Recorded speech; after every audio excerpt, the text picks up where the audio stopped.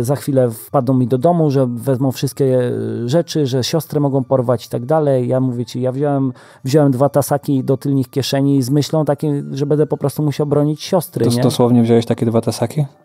Dosłownie, no miałem je w tylnej kieszeni, bo miałem jeansy, wsadziłem je, bo, miałem, mieliśmy takie dwa wielkie noże i po prostu, no gdyby ktoś chciał wejść do mojego domu i porwać moje, moją siostrę, no to, no to, to bym musiał po prostu reagować, nie?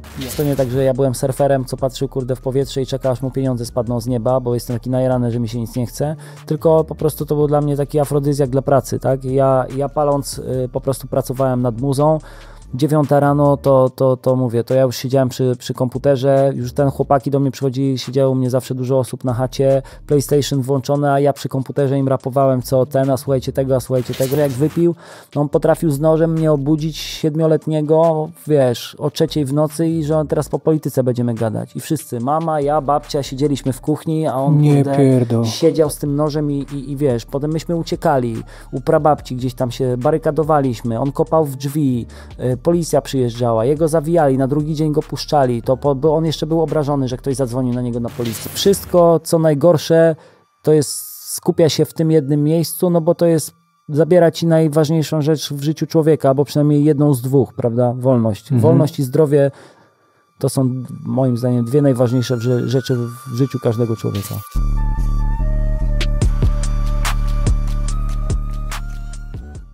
Kacper Orlikowski, cześć. Siemanko. Mm, I zacznijmy od tego, że powiesz ludziom, którzy cię nie znają, czym się zajmujesz. Zajmuję się rapem i tematach wokół idących muzyki. Mhm. E, Mieliśmy bardzo ciekawą rozmowę już przed podcastem, od czego się nie spodziewałem w sumie, bo nie, wiedziałem tego o tobie, więc jak, e, jeśli mi na to pozwalasz, to wrócę do tego i zapytam cię o twoją sytuację, gdzie, Jasne. gdzie skończyło się to tak, że wylądowałeś na 4 miesiące w więzieniu. E, Słuchaj, to, to była historia sprzed 17-18 lat, tak? Miałem 19 lat generalnie. E, To, że wychowałem się w warunkach bardzo ulicznych, można powiedzieć, tak, była to patologia, po prostu mieszkanie, wiele osób w mniejszym mieszkaniu, no to były lata 90. powiedzmy, jestem rocznik 86, więc ci, którzy pamiętają te lata, łatwo sobie wizualizują, bo generalnie myślę, że 80% dzieci na polskich podwórkach chowały się w patologii, a ci, którzy nie znają tych czasów, no to tak pokrótce mówiąc, yy, po prostu no, standardowa, standardowa polska rodzina, gdzie jest za, za dużo alkoholu, i jest jakaś przemoc domowa i, dziecko ogląda rzeczy, których nie powinien widzieć na co dzień.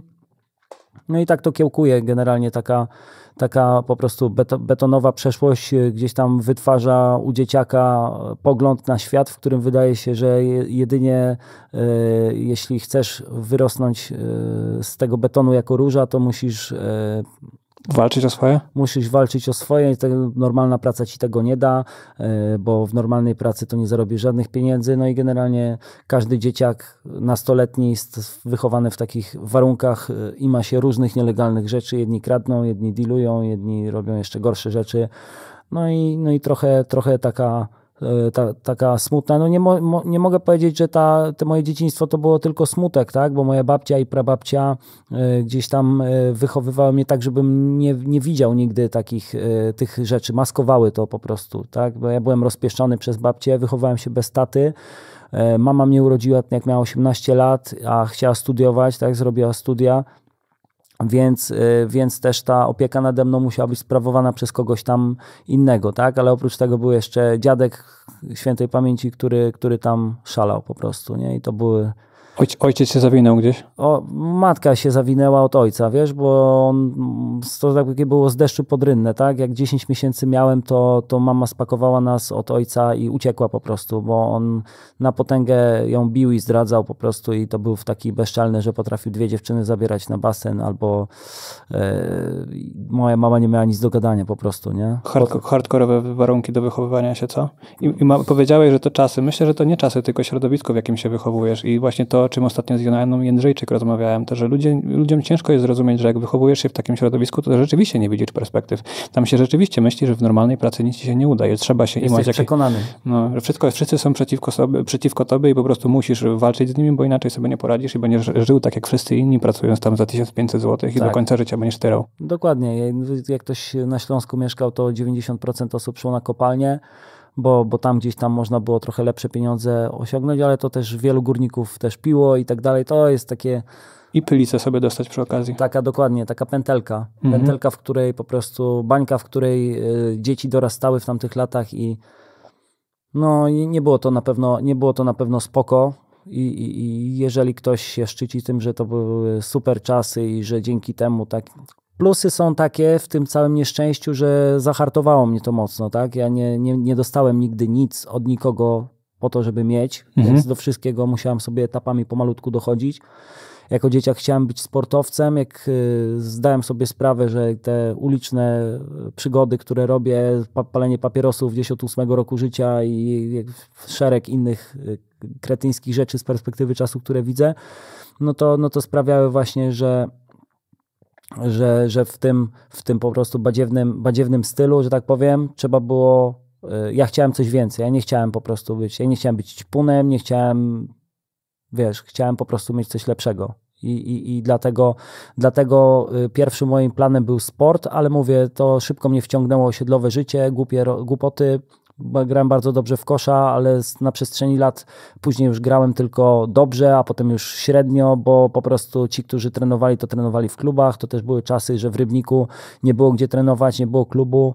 Jak już gdzieś poszedłeś, to, to, to ja mam 1,78 m, więc od razu dyskwalifikacja, bo jesteś za niski. Nie było, to nie NBA, nikt nie rozkminiał, czy ty masz talent, tylko po prostu prosta europejskie pode, proste europejskie podejście jest za niski, nie gra, nie? Mhm. No i trochę mi to tak y, znużyło, nabra, nabrałem wstrętu do tego podejścia, dalej streetball y, lubiłem, ale to już nie było to, już nie było to tak? To był już joint, joint w gębie i piłka do kosza i streetball i, i boombox na podwórku, tak? Więc zaczynało się już takie rapowe środowisko powoli.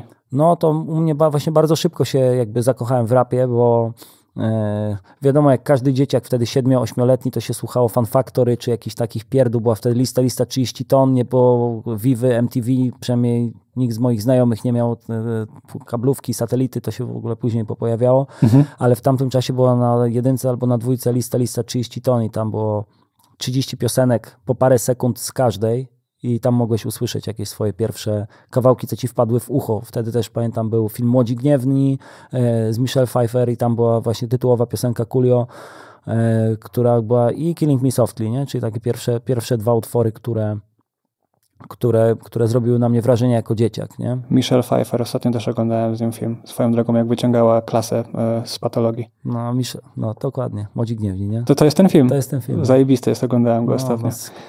Klasyka, um, w, w, takim razie znajda, znajdowałeś sobie jakąś pierwszą pracę, czy od razu za, załadowałeś się w jakieś e, rzeczy poza prawem? Wiesz co, rzeczy poza prawem to robiłem zanim mogłem podjąć pracę, tak? Bo ja już gdzieś tam... E, nie wiem, czy miałem 14 lat, czy 15, 14 myślę, że gdzieś tam jak zacząłem dealować pierwszymi jakimiś sztukami, to, to, to, to miałem paręnaście lat. Nigdy nie kradłem, bo, bo, bo nie potrafiłem, kojarzyło mi się to z obciachem, nie? Jak cię złapie jakaś babka w sklepie, kurde, i, i nie wiem, ochroniarz zamkną cię tam w tym sklepie, ludzie cię będą, wiesz, wytykać palcem, mówię, nie no, co za obciach. To jakby wstydziłem się kompromitacji związanej z kradzieżą i, i dlatego, dlatego chyba nigdy nie kradłem. Mhm. Ale jakoś e, to dealowanie, dealowanie mi bardzo szybko, łatwo przyszło, więc ten, ale pracowałem też w normalnych pracach, tylko się każdy śmieje, bo ja z mojego to, towarzystwa, że ja pracowałem chyba w 13 pracach i żadna nie dość, że do mnie nie pasowała, bo ja na przykład, wiesz, mam wiele w ręce, jeśli chodzi o budowlankę, a potrafiłem pracować przy jakichś budowlanych rzeczach, czy tam tworzeniu jakichś maszyn górniczych. No w ogóle nie rozumiałem, o co tam chodzi. Ja po prostu się prześlizgiwałem w tych, y, y, w tych pracach sprytnie. Gdzieś tam miałem wyjazdy za granicę, w fabryce rogalików. Y, kiedyś pracowałem w Irlandii w fabryce, która produkuje zastawki do serca dla dzieci. To wiesz, zaletą było moją to, że się bardzo szybko nauczyłem po angielsku mówić, bo miałem takiego kuzyna przyszywanego, gdzie była troszkę, troszkę więcej pieniędzy mieli mhm. i on już po angielsku umiał mówić. A wtedy właśnie Cartoon Network czy Eurosport był po angielsku, a ja chciałem to rozumieć, więc Łukasz siedział obok i mi tłumaczył, co Johnny Bravo mówi, co mówi Cowan Chicken i ja potem już jak poszedłem do, do klasy jakiejś tam, pierwszej, drugiej, gdzie się zaczął pojawiać angielski, to ja mówię, o czym oni gadają? Przecież, przecież to jest takie łatwe, że mówię, ja mam teraz hello, what's your name? Mhm. Um, za granicę dużo wyjeżdżałeś? Wiesz co, trzy razy byłem za granicą. Raz byłem w Londynie, na Ealing Broadway mieszkałem i tam właśnie robiłem e, przy, przy mm, rogalikach. W jakim wieku? No właśnie to było około 19 lat, nie? Mhm. I tam tylko byłem 3 miesiące. 3 miesiące pracowałem w takiej firmie French Croissant Company i też tam była taka historia, że ja w ogóle, wiesz, ja się w ogóle dużo biłem swojego czasu, bo też zawsze miałem taki zapalnik bardzo szybki. Zresztą zapalnik mi został już do dzisiaj, chyba taki po prostu mam charakter, tylko, tylko już go nie uzewnętrzniam, bo 37 lat to też nie, nie 15 ani 19, że, żeby pajacować. Natomiast tam miałem taką sytuację, że nie wiem, czy ty kiedyś byłeś za granicą w pracy albo, albo miałeś jakąś styczność z kimś, kto był, ale, ale bardzo często w pracach e, zagranicznych zdarza się, że e, jakby pracownicy są wizytówką danego narodu. Mhm. Czyli w momencie, to tak jak o Polak to kradnie, nie? I, a u nas było akurat coś takiego, że ja byłem przeczulony na podlizywanie się szefostwu. I był taki gościu, nie pamiętam w ogóle jak miał na imię, ale on chodził za tym szefem, ej boss, sorry boss i tak dalej i strasznie mnie to po prostu działo na mnie alergicznie. No i mówię, mów, nie wiesz, tam za którymś razem nie wytrzymałem, a to bardzo szybko nie wytrzymałem, bo 3,5 tygodnia tam tylko pracowałem. I, I, mówię do niego, i mówię do niego, mówię, jak ty kurwa mać możesz nie mieć do siebie tak szacunku, wiesz, jak potem mają patrzeć na Polaków, jak ty chodzisz za szefem, jak jego po prostu lewe jajko, yy, jakbyś chciał osiągnąć yy, za pomocą podlizywania się, nie wiem, lepsze coś tamten, a on mi odpowiedział, chyba twój stary. To była taka głupia odzywka wtedy w tamtych latach, twój stary, nie? Znam. Mhm. A jak się wychowujesz bez starego, to ci to, wiesz, koli cię to w uszy, nie? I to u mnie właśnie bardzo szybka była reakcja.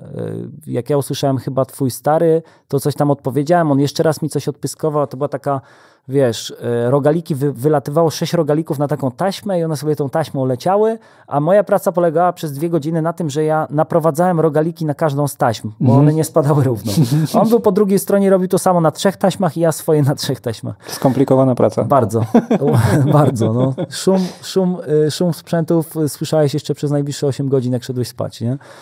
No i nie wytrzymałem, ja wiesz, pod ręką miałem rogaliki, więc go rzuciłem tymi rogalikami, ale szybko się kapnąłem, że to jest głupie przesko no, niewiele mądrzejszą rzecz zrobiłem, bo przeskoczyłem przez te taśmy i go tam spunktowałem. No to, to wiesz, trwała cała bójka, pobicie bardziej niż bójka przez jakieś 10 sekund, bo tam dwa razy go uderzyłem, się przewrócił i zaczęli krzyczeć, że, że, że policja, czy tam, że ochrona, czy coś. I przyszedł akurat team leader, który mnie lubił, nie chcieli dzwonić na policję, bo, bo po prostu jakieś tam sympatie, sympatia była, nie? Mhm. Lubiany byłem. Stworzyłeś sobie tak? relację. Tak, stworzyłem sobie spoko relację.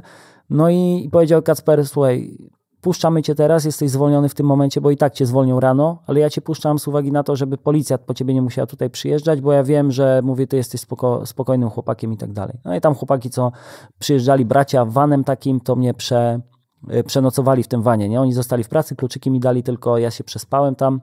No i pamiętam, że oni jeszcze wychodzili z fabryki, to jeszcze tego gościa, przez którego wyleciałem z pracy, miałem, on do mnie rękę w ogóle podaje i tam przepraszać mnie zaczął i w ogóle. Nie? To... Bardzo uległy gościu w takim razie.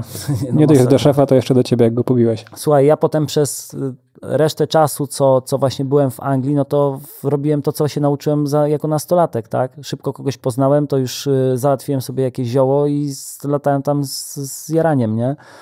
Byłem tam ze swoim przyjacielem, i, a on jeszcze w pracy został, mhm. pracowaliśmy w tej samej pracy. No i było tak, że ja, ja handlowałem na ulicy, on handlował w pracy, ja zajmowałem się głównie tym, żeby to ogarnąć, ale oboje gdzieś tam radziliśmy sobie przez te parę miesięcy, tylko po prostu to było takie, wiesz, ja tam za mało ludzi znałem, byłem gówniarzem i i to po prostu nie rozwinęłoby się w żaden sposób, tak? Starczało cię na dres McKenzie, na odzież i na jakieś pierdoły po prostu, nie? A ja mówię, cały czas z tyłu głowy miałem, że ja chciałem robić coś, coś więcej. Szczególnie, że ja już wtedy coś rapowałem, tak? Bo jak miałem 14-15 lat, to zacząłem pierwsze jakieś kawałki rapować do takiego, wiesz, cieniutkiego mikrofonu, jak są w kokpicie yy, w samolocie, wiesz. 14 lat to mega wcześnie. Tak, no. Sam wtedy już pisałeś, już miałeś jakąś rozkminkę? Tak, ja zawsze, ja zawsze sam pisałem. No, mhm. Rozkminka była bardzo prosta, no to teraz pamiętam, że mój pierwszy kawałek się nazywał Brak Pieniędzy, nie? więc to można łatwo sobie ten... Mój kolega był rok młodszy, który ze mną zaczynał rapować. Nie? Napisane życiem. Napisane życiem i no to tak jak mówisz, no byłem, byłem bardzo, bardzo młody, jak zacząłem rapować, bo to 14 lat, a kolega był jeszcze młodszy 13 lat, ale to była, wiesz, to była czysta zajawka. My bardzo szybko z, z, załatwiliśmy sobie jakiś pierwszy program na jakiś komputer, na który, który działał EJ, ten program się nazywał, z takich klocków układałeś bit. Nie tworzyłeś go od zera, ale miałeś gotowe pianino, gotową perkusję, gotowe coś tam, a ty po prostu jak w Tetrisie musiałeś, przepraszam, te klocki poukładać sobie po prostu. Nie? Ale to zajebisty wiek do zaczęcia czegoś takiego, bo później dochodzi cała ta presja społeczna, na której sobie jeszcze, z której sobie jeszcze nie zdajesz sprawy, jak masz 14 lat. Po prostu robisz to, co lubisz i się nie przejmujesz. W ogóle nie było wtedy presji społecznej, bo nikt nie chciał być raperem. W sensie to, wiesz, bo, bo były, jed, były nas jednostki w każdym mieście, bo Mhm. to po pierwsze nie dawało pieniędzy, To był jeszcze taki głęboki underground. zupełnie. Tam, wiesz, bo, to, mówię, w 14 lat jaki miałem, to, to, to, to był rok 2000, Mhm. 2000, no to miałeś już jakiś, wiesz, jakiś, jakiś zip skład wyszedł, jakaś molesta wyszła i tak dalej, no ale to kto z nich, wiesz, miał FPZ, czy, czy ktoś tam miał świadomość tego, że, że, że ktoś z nich będzie zarabiał kasę, nie? To oni byli starsi, a e, nie mieli z tego pieniędzy, więc ja nie miałem w kogo być zapatrzony, żeby wow, chciałbym być jak ten czy tamten, to dopiero później się gdzieś tam stało, nie? To tym bardziej ciekawe, że to ciebie tak wciągnęło, pomimo tego, że nie było jakichś takich autorytetów, tylko te autorytety ze, ze Stanów, co? Nie, to była zajawka właśnie. No, mi się to po prostu, mi się to tak bardzo podobało, że ja wiesz, ja do teraz pamiętam, że jakieś pierwsze kawałki hip-hopowe, które słyszałem, to, to wiesz, jakimś tam wyłapywałem poszczególne słowa angielskie, które rozumiałem, resztę sobie po swojemu dopowiadałem.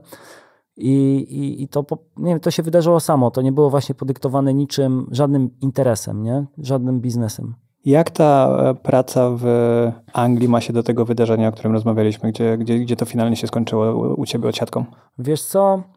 Bo nie umiem bo- sobie teraz jakby chronologicznie poukładać tego, co było pierw. Czy pierw pracowałem w Anglii, czy pierw... Chyba wydaje mi się, że, że chyba pierw siedziałem, a jak wyszedłem, to od razu poleciałem do Anglii do pracy. Mhm. Tak to było.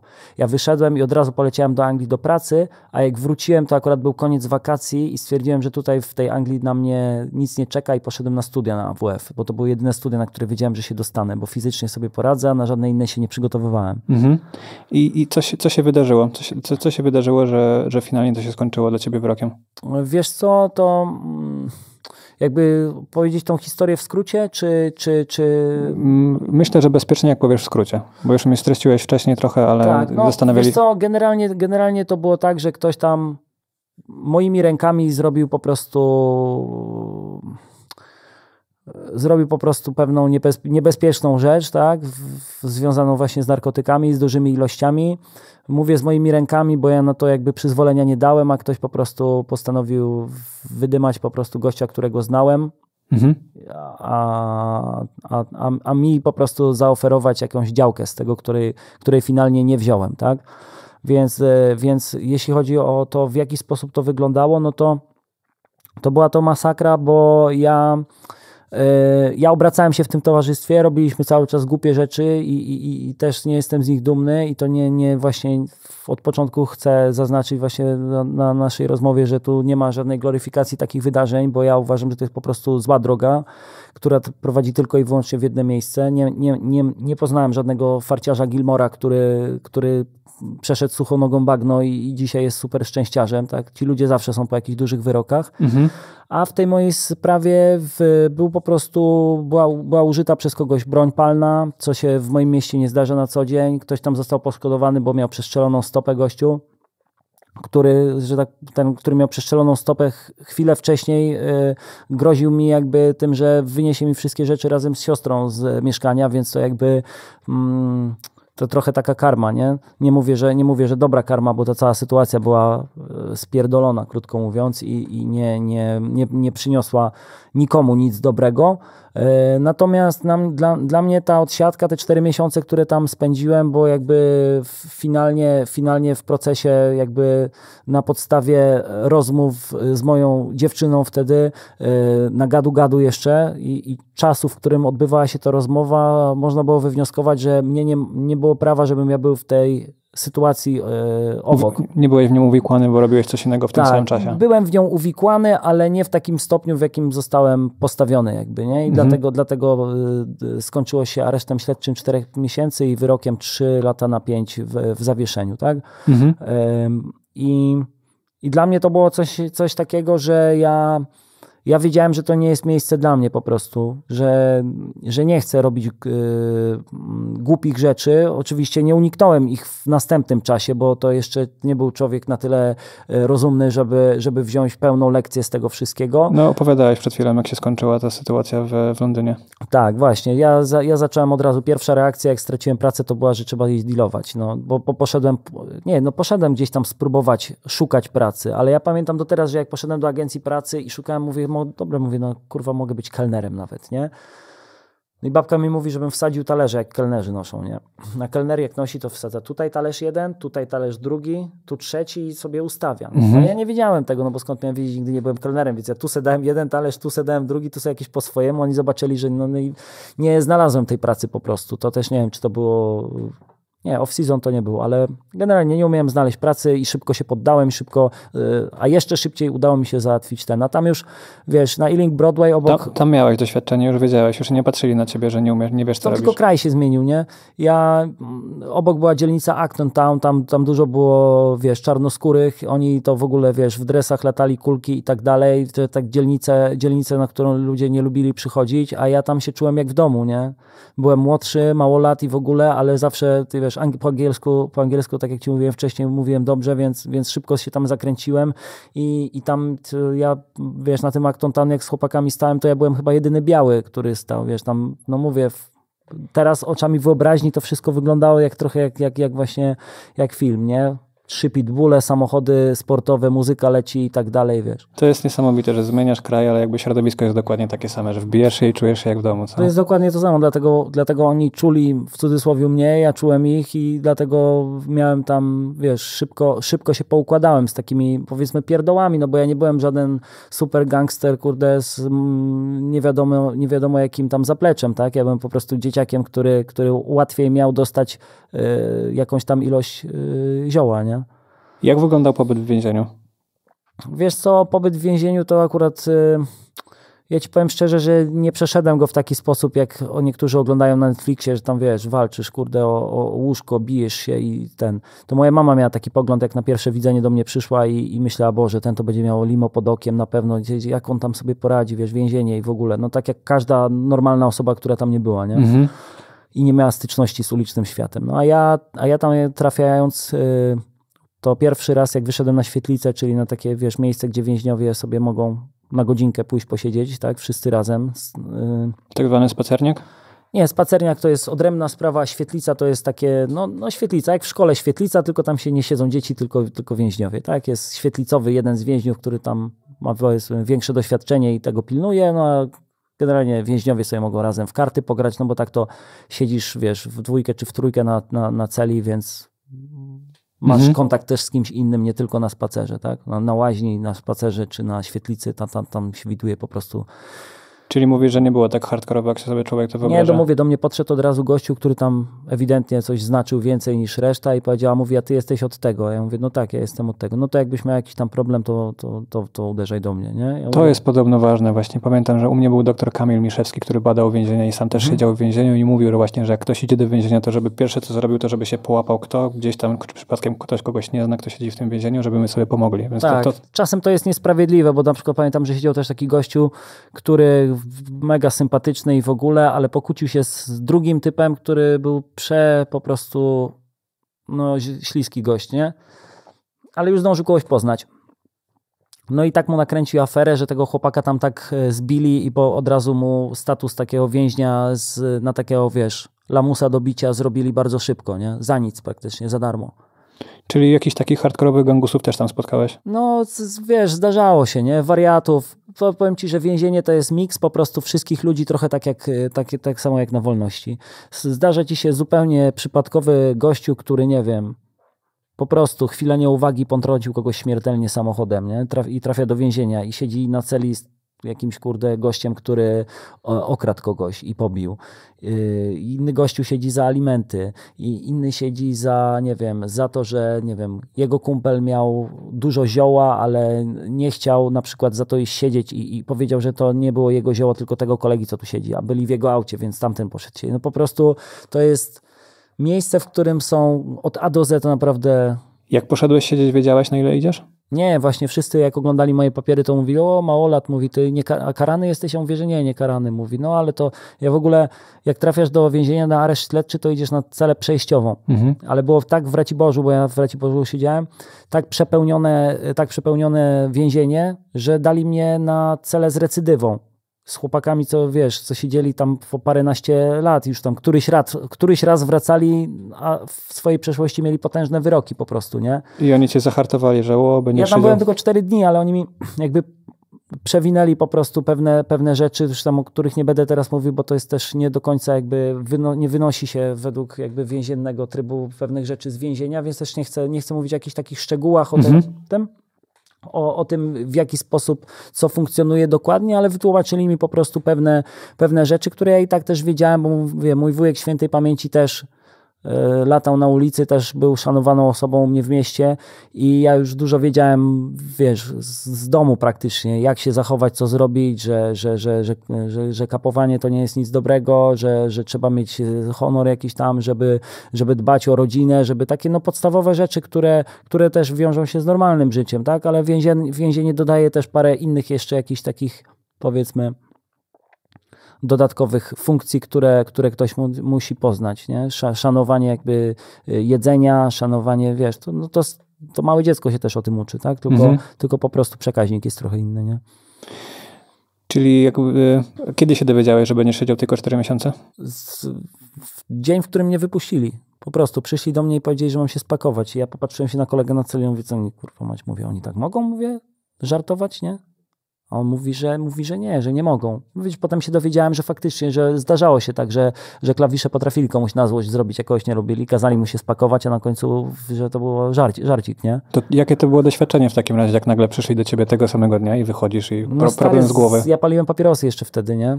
To, to wypaliłem chyba z trzy papierosy naraz, spakowany, czekam, no i faktycznie ty, ja, kurde, oni mnie, wiesz, biorę cały ten mandżur, te wszystkie, wiesz, prześcieradło, te, te całą moją wyprawkę więzienną, powiedzmy, na plecy, żegnam się z chłopakami. Odwracasz się jeszcze, czy na pewno się nic nie, nie pojebało? Właśnie im? się nie odwracałem, bo się mówi, że się nie odwraca, że, że jest taki przesąd jak z czarnym kotem, tak? mhm. tak? że, że żeby przejdzie ci drogę i będziesz miał pecha, to, to, to w więzieniu jest taki, żeby się nie odwracać, żeby nie kusić losu, że możesz tam wrócić. Więc mhm. ja się nawet nie odwracałem.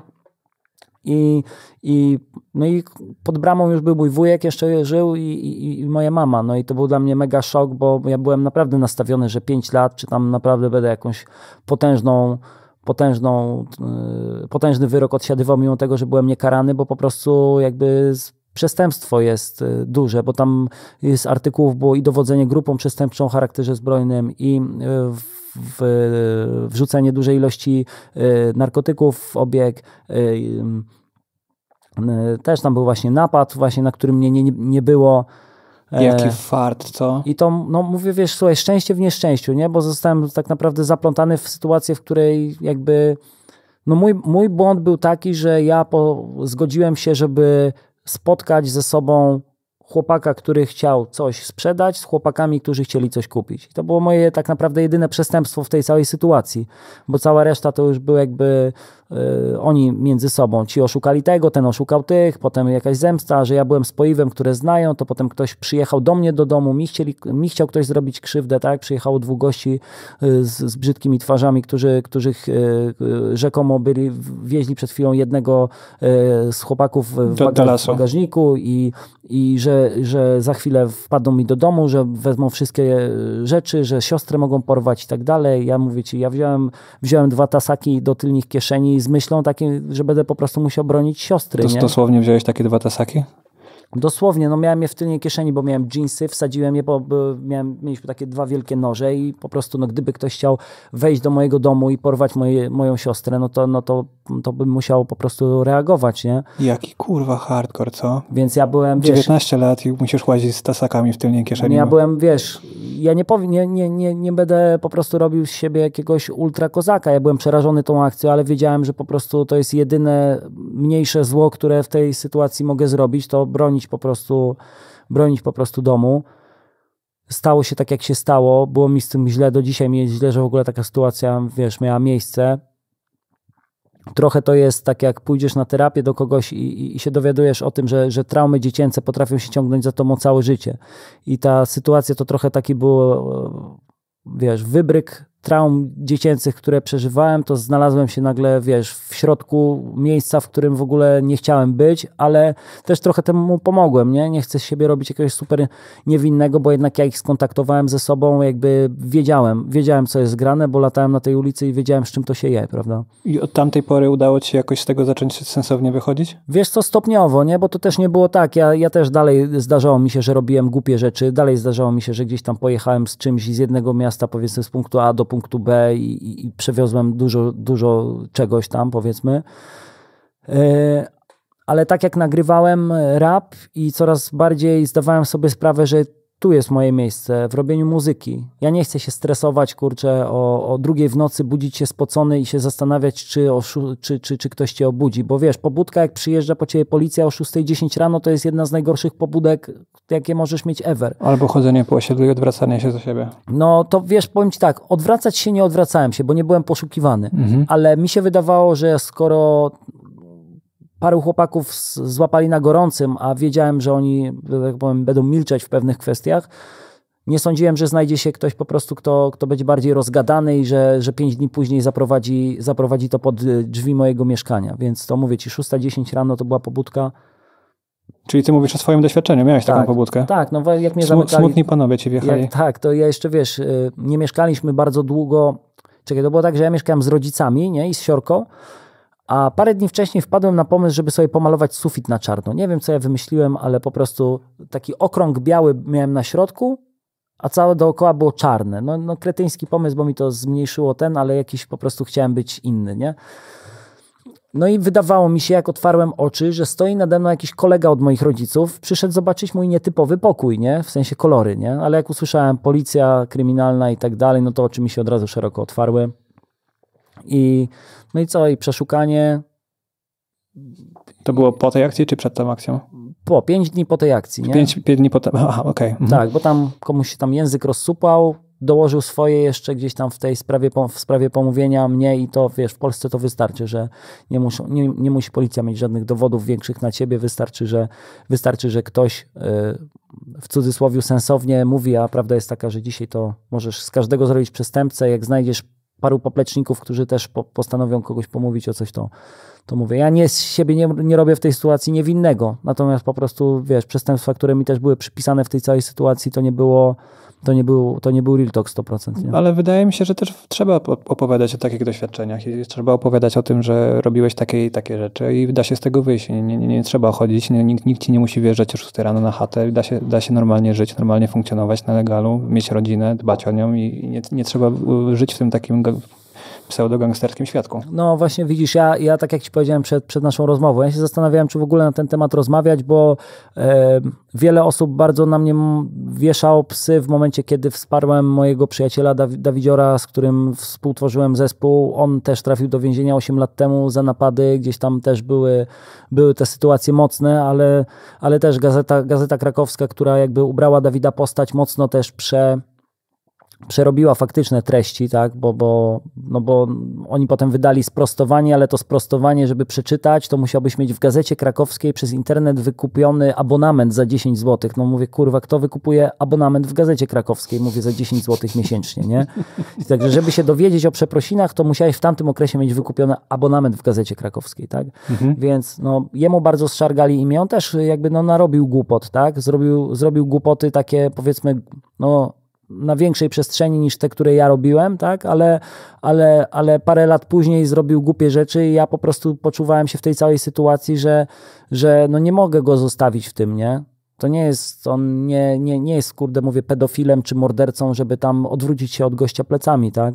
Po drugie, jakimkolwiek człowiekiem by nie był, no to zawsze da się z tego wyjść. Jeśli poszedł siedzieć, miejmy nadzieję, że wiesz, jakoś się weźmie w garści, no to, to trzeba się kompletnie odwrócić do takiego człowieka. No, Jeśli się wiesz, znaliście słuchaj, przez tyle lat, to jest trochę słuchaj, inna cały, kwestia. Cały mój PR zaczął się w momencie wsparcia Dawida sypać i to, jest, to, to są fakty, nie? W momencie, kiedy ja zacząłem go bronić, e, to ludzie na mnie siedli, gdzieś tam jacyś youtuberzy zaczęli filmiki o mnie nagrywać, tak, że... Widziałem że, właśnie, jak się przygotowałem, że były jakieś disy na ciebie takie. Tak, był dis. No, nawet nie chcę wymieniać ksywki gościa, żeby mu nie, nie podkręcać znowu tej, e, tej rozmowy, bo uważam, że to jest po prostu, wiesz, dajesz wtedy atencję, atencję takiej osobie zupełnie niepotrzebną, a on tworząc filmiki, w których gdzieś tam stara się upokorzyć e, raperów, tak, to, to, to, to, to o to mu chodzi, tak, żeby o nim właśnie mówić, więc nie, nie, nie, nie rozwodziłbym się kompletnie nad nim. Natomiast, natomiast fakty są takie, że dla ludzi to była, wiesz, pożywka, bo, bo, bo jak ty możesz wspierać takiego typa, który narobił takie rzeczy, a ja znowu ja sobie myślałem, a jak mam się odwrócić do gościa, z którym się przyjaźniłem przez tyle lat, mówię, to przecież y, on już odbywa karę, tak, czemu internet go próbuje skazać? On siedzi ósmy rok w więzieniu. On mi mówi, jak ja z nim rozmawiam przez telefon, mówi, stary mówi, tutaj mówi mordercy czasem wychodzą po pięciu, sześciu latach, a ja siedzę ósmy rok. Mówi, a tak naprawdę fizycznej krzywdy nie zrobiłem nigdy nikomu. Mhm. E, narobiłem głupot i tak dalej. Mówi, ale przyjdzie czas, że wyjdę. Mówi, opowiem o tym wszystkim, opowiem swoją perspektywę i, i, i, i te, ja się trzymam tej drogi i to mu powtarzam cały czas przez telefon, że stary mówi, jak wyjdziesz, to ja ci pomogę z muzyką, pomogę ci z powrotem. Jestem z jego mamą na telefonie bardzo często robimy różne jakieś akcje, tak, jakiś czas temu tam e, ogarnialiśmy ogarnialiśmy odzież koszykarską do, do, do więzienia, w którym, w którym przebywa, żeby gdzieś tam trochę punktował, tak, żeby, żeby starał się z tego po prostu już wybrnąć, tak, żeby on wyszedł na prostą. Teraz z tego, co mi mówił przedwczoraj, czy wczoraj, jak rozmawialiśmy przez telefon, to do jakiejś pracy teraz poszedł i no, stary, ciężko jest resocjalizować się w więzieniu. Więzienie jest, system tworzy więzienie w taki sposób, że ani to nie jest resocjalizacja dla więźniów, ani dla to jest takie przetrzymywanie z dala od społeczeństwa po prostu. To jest od, ze zwierzęcanie bym powiedział, tak? Bo tam między strażnikami więziennymi a więźniami jest cały czas battle, nie? Battle nie, nie plus handel. Się, niekończący się battle, niekończący, no handel też, no wiadomo, wszystko, po prostu wszystko, wszystko co najgorsze to jest, skupia się w tym jednym miejscu, no bo to jest zabiera ci najważniejszą rzecz w życiu człowieka, albo przynajmniej jedną z dwóch, prawda? Wolność. Mhm. Wolność i zdrowie to są moim zdaniem dwie najważniejsze rzeczy w życiu każdego człowieka. Tak, i po jakiekolwiek poczucie kontroli i bezpieczeństwa po prostu musisz robić. Przyjdą po ciebie, musisz wstawać i nie robić. masz klamki w pokoju, nie? To jest mhm. najprostsze wytłumaczenie. Masz pokój bez klamki. Jakie hardkorowe środowisko. Czyli tu u ciebie y, przeszłość jest dokładnie taka, jak, y, jak, się, jak ja sobie myślę o takim naprawdę hardkorowym y, świadku rapowym, no to właśnie myślę o takiej przeszłości u ciebie to rzeczywiście tak wygląda, bo tak jak już przed podcastem rozmawialiśmy. Już teraz nie, już teraz nie, bo to mogę powiedzieć, wiesz, 100% bez, bez, bez żadnego zabarwiania, że od naprawdę, tak naprawdę od 11 czy 12 lat nie, nie robię nic nielegalnego. Nic. Nikt mi nie może przypisać nic. No, co najwyżej, nie wiem, mogę zaparkować w, w złym miejscu.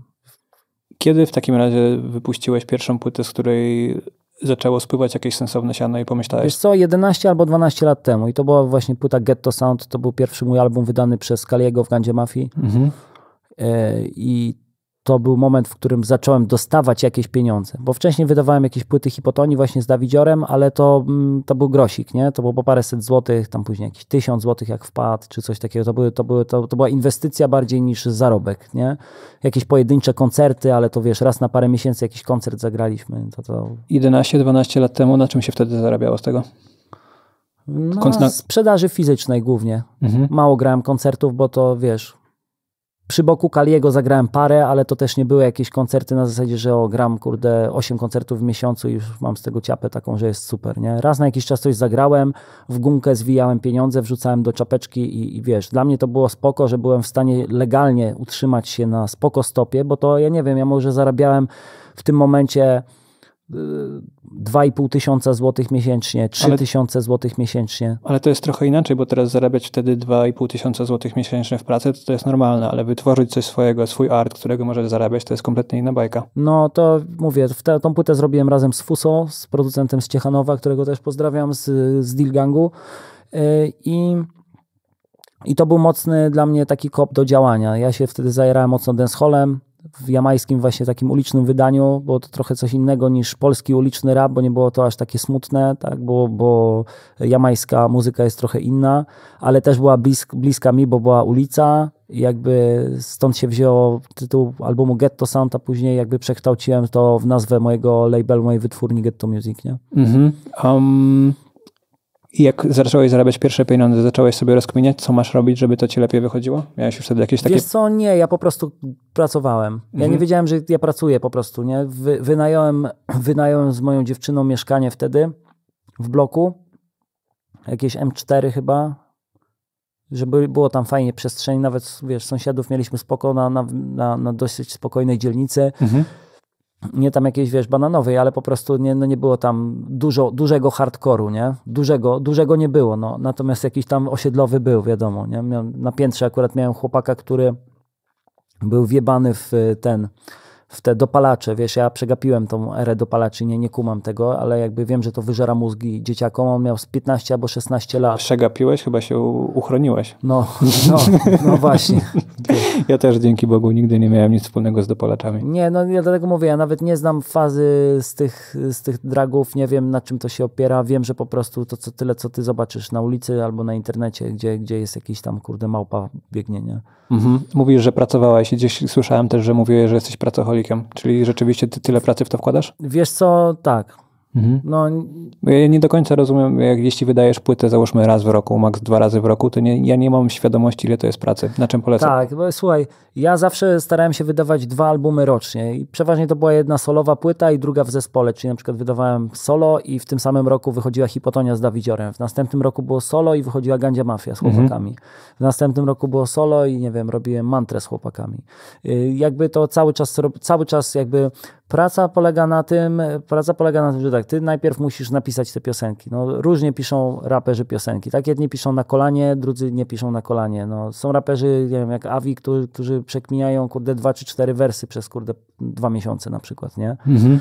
Czyli ten, aż tak bardzo się przekładają do tego? Tak, bo po prostu gra słów, bo, bo, bo po prostu mają taki mindset i, i tyle, nie? Mhm. Ja, ja ani nie byłem raperem, który pisał na kolanie, ani takim, który kreślił cztery wersy dwa miesiące, więc gdzieś tam powiedzmy po środku, tak? Ale, ale żeby zrobić dobrą płytę, no to ty musisz tych piosenek robić, kurde, dużo, nie? Więc I to nie jest tak, że wszystkie wejdą do płyty, nie? No, no, no w, moim wypadku, w moim wypadku różnie. Nie? Czasem było tak, że prawie wszystkie wchodziły, a były dwa odrzuty, a czasem było tak, że ja zanim wypuściłem pierwszą płytę, to ja miałem nagranych już ze 150 piosenek, wiesz, Mhm. czy nie, no nie wiem, 100 piosenek, z 200, nie wiem, nie, nie powiem ci tego teraz, ale po prostu ja bardzo dużo nagrywałem, bo nie wiązałem z tym pracy. Ja po prostu... Ja po prostu to robiłem, bo to kochałem robić. I, nawet jak chodziłem do tych prac na trzy miesiące różnych, bo ich to było, mówię, z 13 takich, w- w sklepie RTV AGD nawet pracowałem przez chwilę. Mówię ci, to jest, ja przerobiłem tyle różnych prac, do których nie pasowałem, żeby zdać sobie sprawę z tego, że ja muszę poświęcić czas na muzykę i, i wtedy może to się uda, Mhm. ale to też nie było na takiej zasadzie, że może się uda i na tym zarobię, nie? Mhm. Tylko to było bardziej na zasadzie może się uda i będę z tego żył. Kurwa, jak ja marzyłem, pamiętam wtedy, żeby mieć 3, mie- 3000 zł miesięcznie, ja już nic nie potrzebuję. Tu mieszkanko w bloku z żoną, wiesz. Teraz patrzę na to, że, że to może nie było zbyt ambitne, ale z perspektywy wtedy, że ja nie robię nic nielegalnego, nie robię nikomu nic złego, robię to, co kocham, dostaję za to pieniądze. W tym samym czasie moi koledzy idą do pracy typu właśnie kopalnia, budowa, albo wiesz, albo no nie wiem, jakaś lepsza praca, ale powiedzmy no pochłaniająca. I nie jest to, że ty, dobra, idę na kopalnię, już nie mogę doczekać się, aż motek złapie. To nie jest na takiej zasadzie. Ja nie mogłem się doczekać, aż złapię za kartkę, długopis i, i, i, i ten, a jak na końcu miesiąca ktoś mi chciał za to płacić, to w ogóle była abstrakcją dla mnie, nie? To ile czasu w takim razie zajmuje ci napisanie jednego kawałka? Czy to tak nie można Wiesz na to co, patrzeć? nie, nie można tak, bo ja mm, y, potrafię napisać y, jeden utwór w przeciągu paru godzin, cały, z refrenem, ze wszystkim, potem tylko udoskonalić jakieś tam wstawki, dodatki, smaczki. Ty go piszesz i później patrz, czytasz go sobie z powrotem, wykreślasz coś, podpoprawiasz. Tak, tak, tak. A teraz już nawet nie piszę długopisem, tylko na laptopie się nauczyłem albo na telefonie. No. I yy, wiesz, ten proces po prostu nie jest taki yy, jednolinijny. Mhm. Więc za każdym razem to jest inaczej. Czasem zdarza mi się, że piszę. Teraz na przykład yy, pracowałem z takim producentem Jonathanem, który też jest naprawdę jest mistrzem, jeśli chodzi o, o, o- o produkcję muzyki, realizację i tak dalej Mhm. dlatego też do Warszawy wczoraj przyjechałem, no to pracowaliśmy nad zrobieniem bitu we dwójkę i pod ten bit na samym końcu stworzyliśmy tak, tak zwany topline, czyli, czyli po prostu melodia zwrotki i melodia refrenu, ale śpiewana na zasadzie la la la la łe łe łe, łe wiesz. Mhm. A dopiero potem pod tą melodię, ja już będąc w domu, a w zasadzie w górach byłem z żoną i z córką, e, e, napisałem, sobie, napisałem sobie tekst. A innym razem, wiesz, siedziałem w studiu, a innym razem, kurde, jak byłem młodszy, to potrafiłem w autobusie napisać. To, wiesz, jakby proces jest tak bardzo różny, ale jest czasochłonny, bo wiesz, jak ktoś nie robi muzyki, to, to, to się wydaje, że no, mówi, no, raper to powinien wydać chyba sześć albumów w ciągu roku, a nie kurde jeden, nie? Ale to tak nie jest, bo ty jak chcesz to zrobić porządnie, to ty oprócz tego, że ty napiszesz teksty, musisz zająć się całą sferą promocyjną, szczególnie jak nie masz nikogo dookoła siebie i jesteś młodym twórcą. To wszystko musisz robić samemu. Chcesz robić samemu, bo I jeszcze musisz to wykminić, bo się na tym nie znasz, nie? Chcesz robić samemu, bo, bo wtedy nie będziesz musiał nikomu oddawać pieniędzy, których nie masz tak naprawdę. Mhm. Wiesz, to pieniądze, na pieniądze, żeby dać na menadżera, czy na bookera, czy na kogokolwiek, to sobie możesz pozwolić w momencie, kiedy ty już Jesteś już w miarę rozpoznawalny, jesteś zarabiasz jakoś- siano. Tak, Mhm. dokładnie. No albo jesteś bogaty, nie wiem, z domu, albo nie wiem, Majors jakiś cię, cię wyłowi i, i ktoś chce w ciebie zainwestować tę kasę, nie? Ale jak chcesz być one man army, no to, no to ta droga jest troszkę dłuższa, tak jak u mnie, nie? Siemanko. Jeśli słuchając mojego podcastu przeszło Ci przez myśl, że fajnie gdyby moi słuchacze poznali i polubili Twoją markę, a tym samym pomógłbyś mi lepiej rozwijać ten projekt, to śmiało odzywaj się na maila dropuje.gmail.com dyryopy.ue Adres mailowy znajdziesz też w opisie tego podcastu. Teraz ważne info. Do mojego podcastu nie zapraszam ludzi na rozmowy, za które zostało wcześniej zapłacone. Jeszcze wracając do Twojej marki. Ja na co dzień używam wielu produktów i chętnie polecę moim słuchaczom coś, co jest porządne i sprawdzone. Bo czemu nie? Dobra, to tyle. Wracamy do rozmowy. Mm, Miałeś takie momenty, że czy u ciebie to wszystko wynika z takiego z tak zwanego flow, czyli po prostu myślisz, że masz, tak, masz flow i zaczynasz pisać, czy miałeś takie momenty, że mówisz sobie, dobra, muszę napisać jutro kawałek, niezależnie od tego, czy mi się chce, czy mi się nie chce, to piszę. No to też jest taka, wiesz, specyficzna kwestia, bo w okresie, kiedy nie zarabiałem na tym kasy, takiej, wiesz, normalnej, tylko takie powiedzmy przetrwanie, co wtedy mi się wydawało, że to jest spoko, to, to było różnie. To było, to było mm... Czekaj, przypomnij mi p- pytanie dokładnie, jak Zapy, zapy, zapytałem cię o to, czy to jest tak, że zawsze bazujesz na flow i po prostu czujesz się w jakiś sposób i na, tej O, podstawie już zaczynasz... wiem. Mhm. Wtedy bazowałem tylko na flow, bo ja po prostu siadałem co rano do domu. Moja żona wtedy już yy, nie była jeszcze moją żoną, ale pracowała już w jakiejś pierwszej firmie, bo ona jest architektem wnętrz Mhm. yy, i jeździła do, do pracy, tak, godzinkę i nie było jej przez cały dzień. Więc tak jak ona wstawała do pracy ósma, to ja wstawałem, nie wiem, dziewiąta, jadłem śniadanko, ja już siedziałem przy komputerze, paliłem jointa, bongosa, wiadro, cokolwiek, bo, bo zawsze dużo paliłem zioła.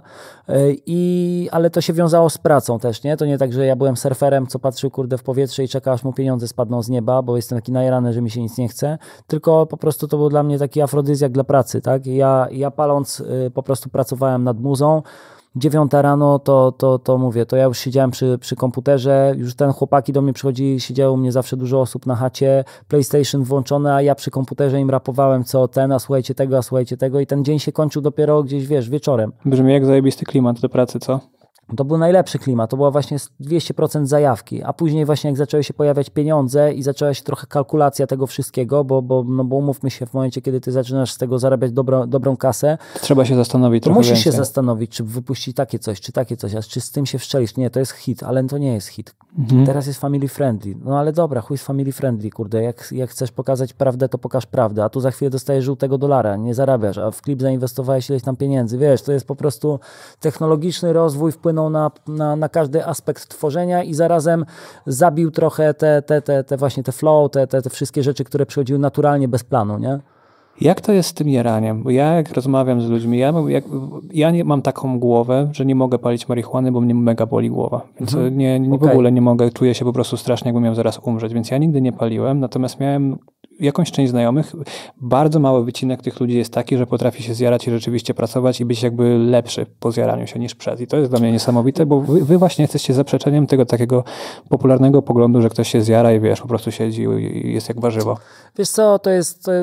Ja po prostu zawsze miałem nadwyżkę energii, tak? Ja miałem zawsze takie, w cudzysłowie ADHD, bo się śmieję, bo ponoć gościu, który wymyślił de, de, de, definicję słowa ADHD, przyznał się w którymś tam momencie, że nie ma czegoś takiego, że to było tylko na, na potrzeby farmakologiczne wy, wymyślona choroba. Jest coś takiego aktualnie. No, jest teraz, tak. Mhm. No, ale, ale finalnie, generalnie gościu, który zapoczątkował pojęcie słowa ADHD, e, powiedział, że, że to po prostu jest, wiesz, to tak samo musiałbyś nazwać chorobę flegmatyków jakąś tam, mhm. nie? Że, że ktoś jest bardziej przymulony. No po prostu ktoś jest bardziej aktywny. No, ja tak miałem problem, wiesz, zawsze, zawsze to, to chyba wychowanie wpłynęło na mnie tak, że mnie zawsze było pełno, ja zawsze coś robiłem, ja zawsze ten, a, a zioło mnie stabilizowało zawsze, że ja z tego, wiesz, pułapu, że jestem taki, kurde... Mogłeś się skupić. Mogłem się skupić, mogłem się uspokoić, opanować, wiesz. To tak, dzia tak działają dokładnie leki na ADHD że możesz, ludzie mówią, że w końcu mogą zebrać myśli i właśnie zacząć robić jedno zadanie od początku do końca, a nie po prostu robić wszystko. No wiesz, ma, medyczna marihuana też jest stosowana, e, wiesz, e, dla, dla osób z różnymi schorzeniami, tak? Mhm. Możesz wyleczyć olejem THC glejaka mózgu komuś,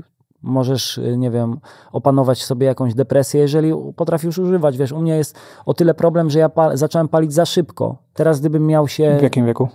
No, nie wiem, 13 lat może ja tak samo pamiętam, że zacząłem, ale na szczęście szybko z tego wyszedłem, bo miałem taki okres, że jarałem rzeczywiście dużo.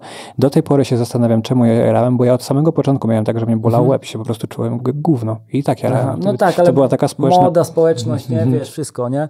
U mnie to było bardziej na takiej zasadzie, że, że tak jak ty mówisz, młoda, starsi koleżcy i tak dalej, to pamiętam, że jak pierwszy raz poczułem zioło, jak palili je na szkole, to ja mówię, Boże, jak to mówię, śmierdzi. Mówię, co wy to mówię ten, bo ja w ogóle spotkałem się potem z takim kolegą, co był w moim wieku i mówię do niego, ty, mówię, nie uwierzysz, mówię. Ten i ten, mówię, oni ci paść zaczęli. Ja byłem przerażony, że oni jarają, ja nie wiedziałem, co jest grane w ogóle, nie? Trzeba im pomóc jakoś, wiesz, o co chodzi, nie? nie? Ale, ale fakt faktem, żaden nauk na dłuższą metę nie jest spoko, nie? I to jest akurat, to jest problematyczne, że obojętnie, czy ty będziesz, nie wiem, miał problem z cukrem i będziesz nadużywał cukru i McDonalda i zostaniesz 140-kilowym grubaskiem, mhm. czy ty po prostu będziesz miał nauk związany z alkoholem i, i, i, nie wiem, zaczniesz wsiadać po pijaku za kółko, czy ty po prostu, nie wiem, palisz za dużo zioła. Po prostu ja uważam, że wszystko, co jest, wszystko jest dla ludzi, ale trzeba umieć tymi rzeczami... Trzeba mieć umiar. Y, umiar. A mhm. jak palisz tyle lat, co ja, no to, to ten umiar się zaczął zatracać i uważam, że po prostu na dłuższą metę Mam pomysł, mam plan na siebie, żeby, żeby ukrócić palenie, a uważam, że po prostu po tylu latach będzie problem, żeby ukrócić, więc musiałbym rzucić. Mhm. Ale rzucanie czegoś. Też... Robiłeś sobie jakieś przerwy? Wiesz co, robiłem, robiłem, ale to jest. Ja uważam, że mówię, tu, tutaj akurat bym się musiał przywrócić do czasów, kiedy byłem zero-jedynkowy. Mhm. Ja uważam, że zawsze, zawsze jakoś tak było mi bliżej do albo grubo, albo wcale. I tak samo w, chyba z tym jaraniem jest. Ja i po prostu, jak ja nie palę jeden, drugi, piąty dzień, to się męczę. Natomiast po trzech miesiącach, jak zaczynam palić z powrotem, to żałuję, że zacząłem jarać.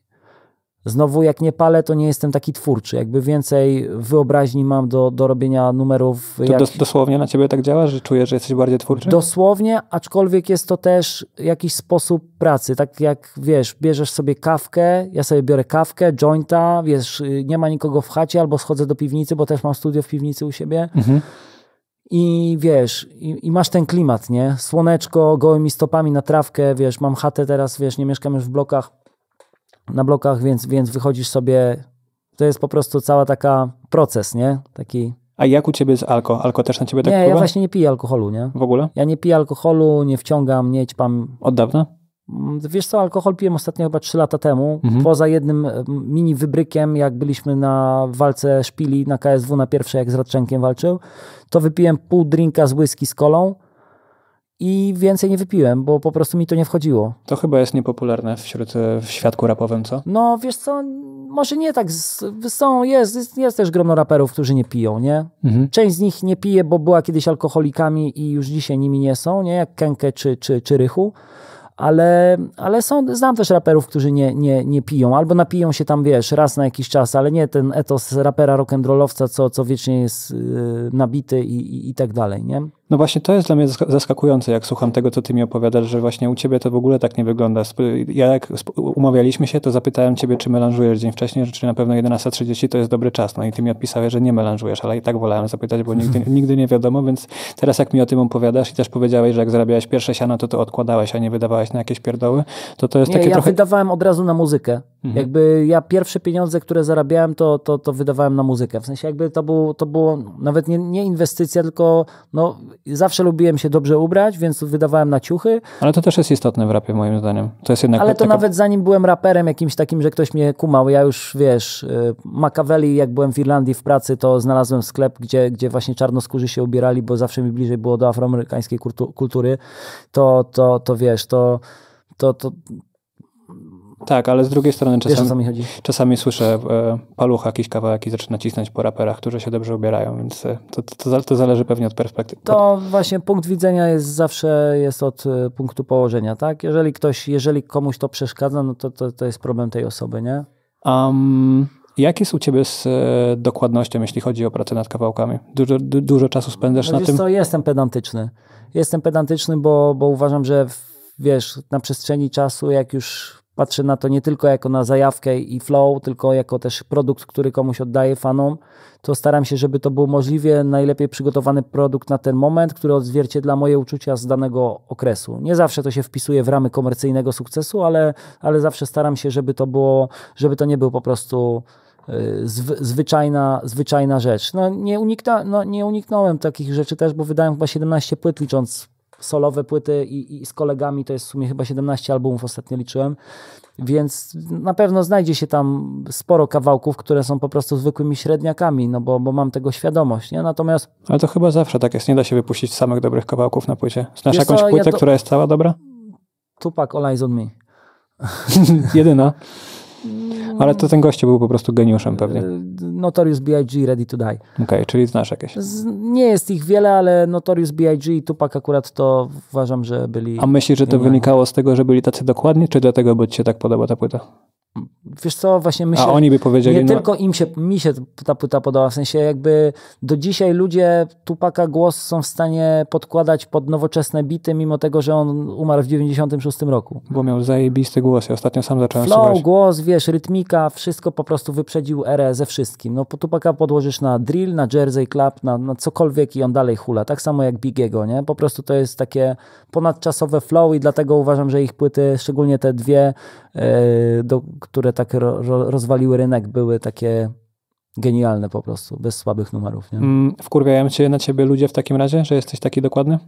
Pedantyczny, jeśli chodzi o kawałki, bo to, to, jeśli, to jest. Pytasz o fanów, czy o... Nie, nie, mówię o innych raperów, jak robisz coś z nimi, bo teraz jak pracujesz samemu, jesteś pedantyczny, to jest ludzik, jak tylko dokładasz do tego procesu inne to osoby. To nie, staram się nie ingerować, wiesz, bo ja uważam, że każdy, wiesz, to, że ja jestem taki, to nie znaczy, że każdy ma być taki jak Kacper, nie? Mhm. No ja uważam, że każdy niech sobie pracuje po swojemu i jeżeli kogoś zapraszam, to już wiem dobrze, że ta osoba prawdopodobnie odda mi coś kawałek siebie. Tak jak na przykład Szpaka zapraszałem, to, to, to też pamiętam, jak, jak rozmawialiśmy, to wiesz, ja po prostu wiedziałem, kogo ja zapraszam. Ja mhm. wiedziałem, pod jaki bit go zapraszam i cała reszta już była dla mnie wiadoma. Czyli On mógł po prostu zrobić zajebistą zwrotkę, albo kozacką zwrotkę, albo po prostu dobrą, ale poniżej pewnego poziomu to na pewno nie, nie, nie zejdzie nigdy, nie?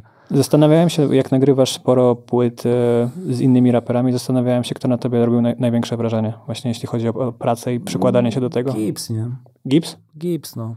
Jest najbardziej pracowitym pracowitym artystą, jakiego w ogóle kiedykolwiek poznałem. Mhm. Praktycznie, wiesz, ja jako raper robię płytę za płytą. On robił płytę za płytą jako producent, a teraz jeszcze jako producent i, i, i, i, i nie wiem, nie nazwałbym go raperem, bo on sam też się nie nazywa raperem, ale powiedzmy twórca, wokalista, tak nazwał jak zwał. Czyli kwestia tego, ile on pracuje, że jest taki produktywny. Żeby... cały czas pracuje. Mhm.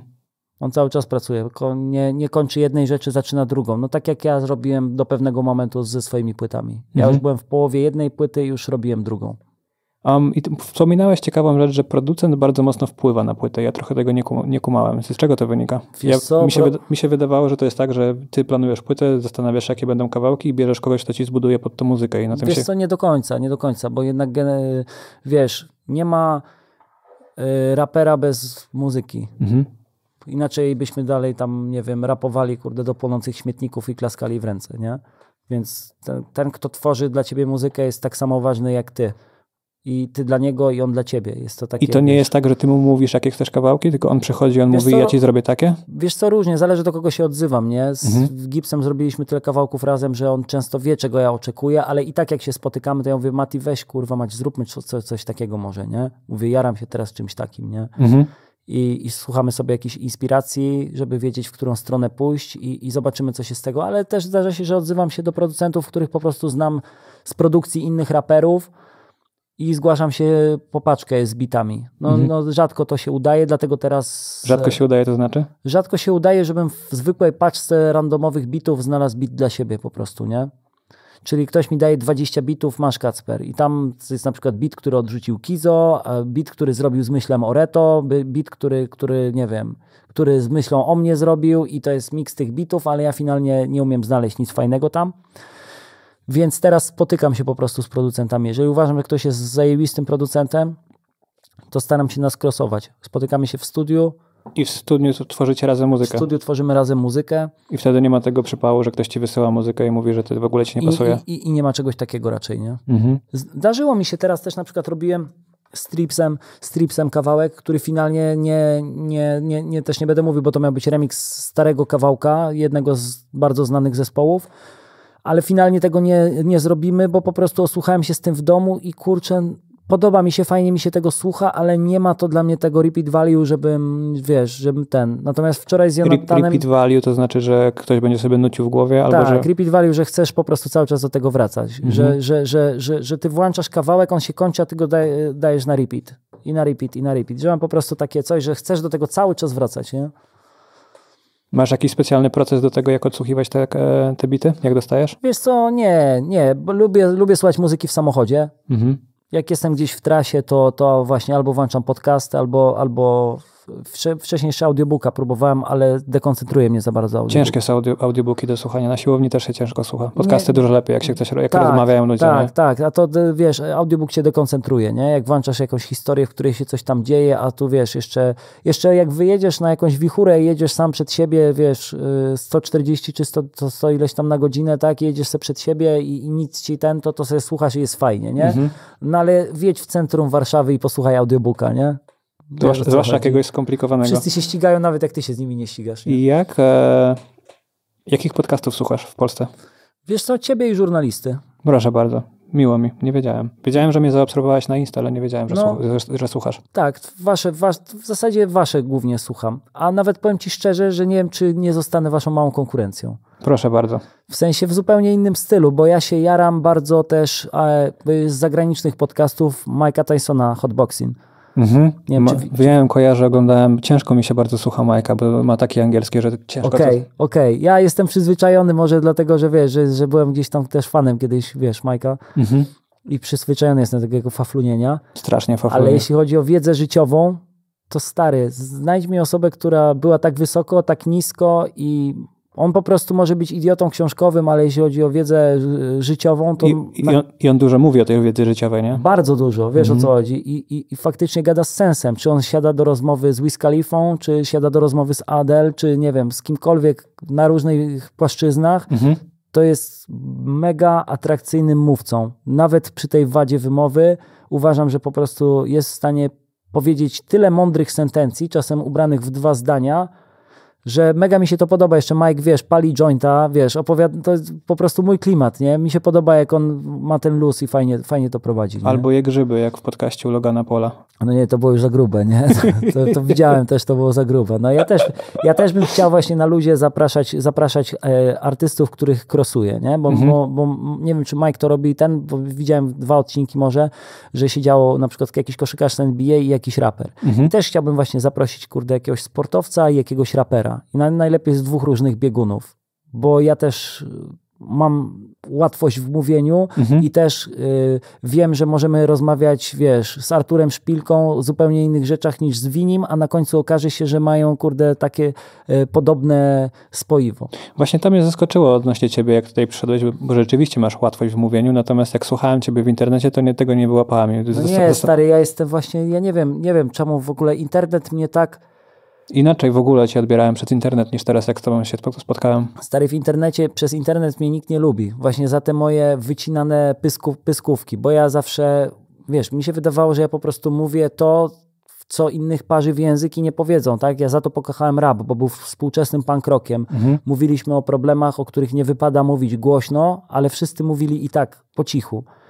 Gdzieś, I- gdzieś tam na A w osiedlu. internecie to przekształcili jako hejtera, wiesz, to, to w internecie jest bardzo łatwo kogoś zniszczyć albo, albo zrobić mu kiepski PR, albo wrzucić go właśnie do takiego worka, że potem wiesz, co na to paluch, nie? Mhm. Co na to Kacper? O, Kacper, ten zaś patus, patus i debil, wiesz. Nie, nie zna mnie nikt, wiesz, ja, ja Mamy- mam świadomość, że nie każdy fan mnie będzie znał osobiście, nie będziemy wszyscy razem sobie e, łapać się za ręce w kółku i, i, i, ro, i rozmawiać, ale, ale to jest też takie krzywdzące trochę, że w momencie, w którym stajesz się wycinką clickbaitów, Mhm. portali, które, w, które wrzuciły cię do worka, e, wiesz, jeżeli jest artysta albo sportowiec, którego wrzucają do worka, on pomaga. Raz na trzy tygodnie usłyszysz, jak on komuś pomaga albo robi coś dobrego. I, Bo wszyscy, I wszyscy nawet będą szukali tego, Tak. gdzie, gdzie znowu komuś pomógł, żeby tylko to wyciągnąć na wierzch. Są, jest, są, są artyści czy sportowcy, którzy mają zajebiste współpracę nie? z Adidasem, z, kurde, z Nike, z kimś tam, nie? No to będziesz o nim czytał, że o, kolejna potężna współpraca, nie, nie wiem, płyta tego na Times Square. Ten, wiesz, i jakby cały, cały ten, wiesz, cały ten PR będzie budowany w co innego. A mnie wrzucili do takiego PR-u, to ten, co musi znaleźć dziurę w całym i po, powiedzieć, co mu się nie podoba. A, to nie jest tak, że wszyscy raperzy tak e, rapują? Wsz- Wszyscy szukają dziury w całym i mówią o tym, co im się nie podoba. Wiesz co, tak, tak i nie, ale stary, ja też mówię o innych rzeczach. Nie mówię tylko o tym, co jest złe i co jest niefajne, ale ja zawsze moim celem w muzyce było niesienie światełka w tunelu, czyli tak jak dotyczy to Dawida, czy, czy, czy mnie, moj, Dawidziora, czy moich tam młodzieńczych lat, to ja chciałem wierzy, wierzyć w to mocno, że jest coś lepszego niż to, co przeżywam na co dzień. I to ja właśnie, wiesz, y, I to jest zajebiste w twoich Stary, kawałkach. ja jeździłem po. Teraz na przykład mam taki kryzys. Yy, ja kontra reszta świata, ja kontra fani, o tak bym to nazwał bardziej, nie? Mhm.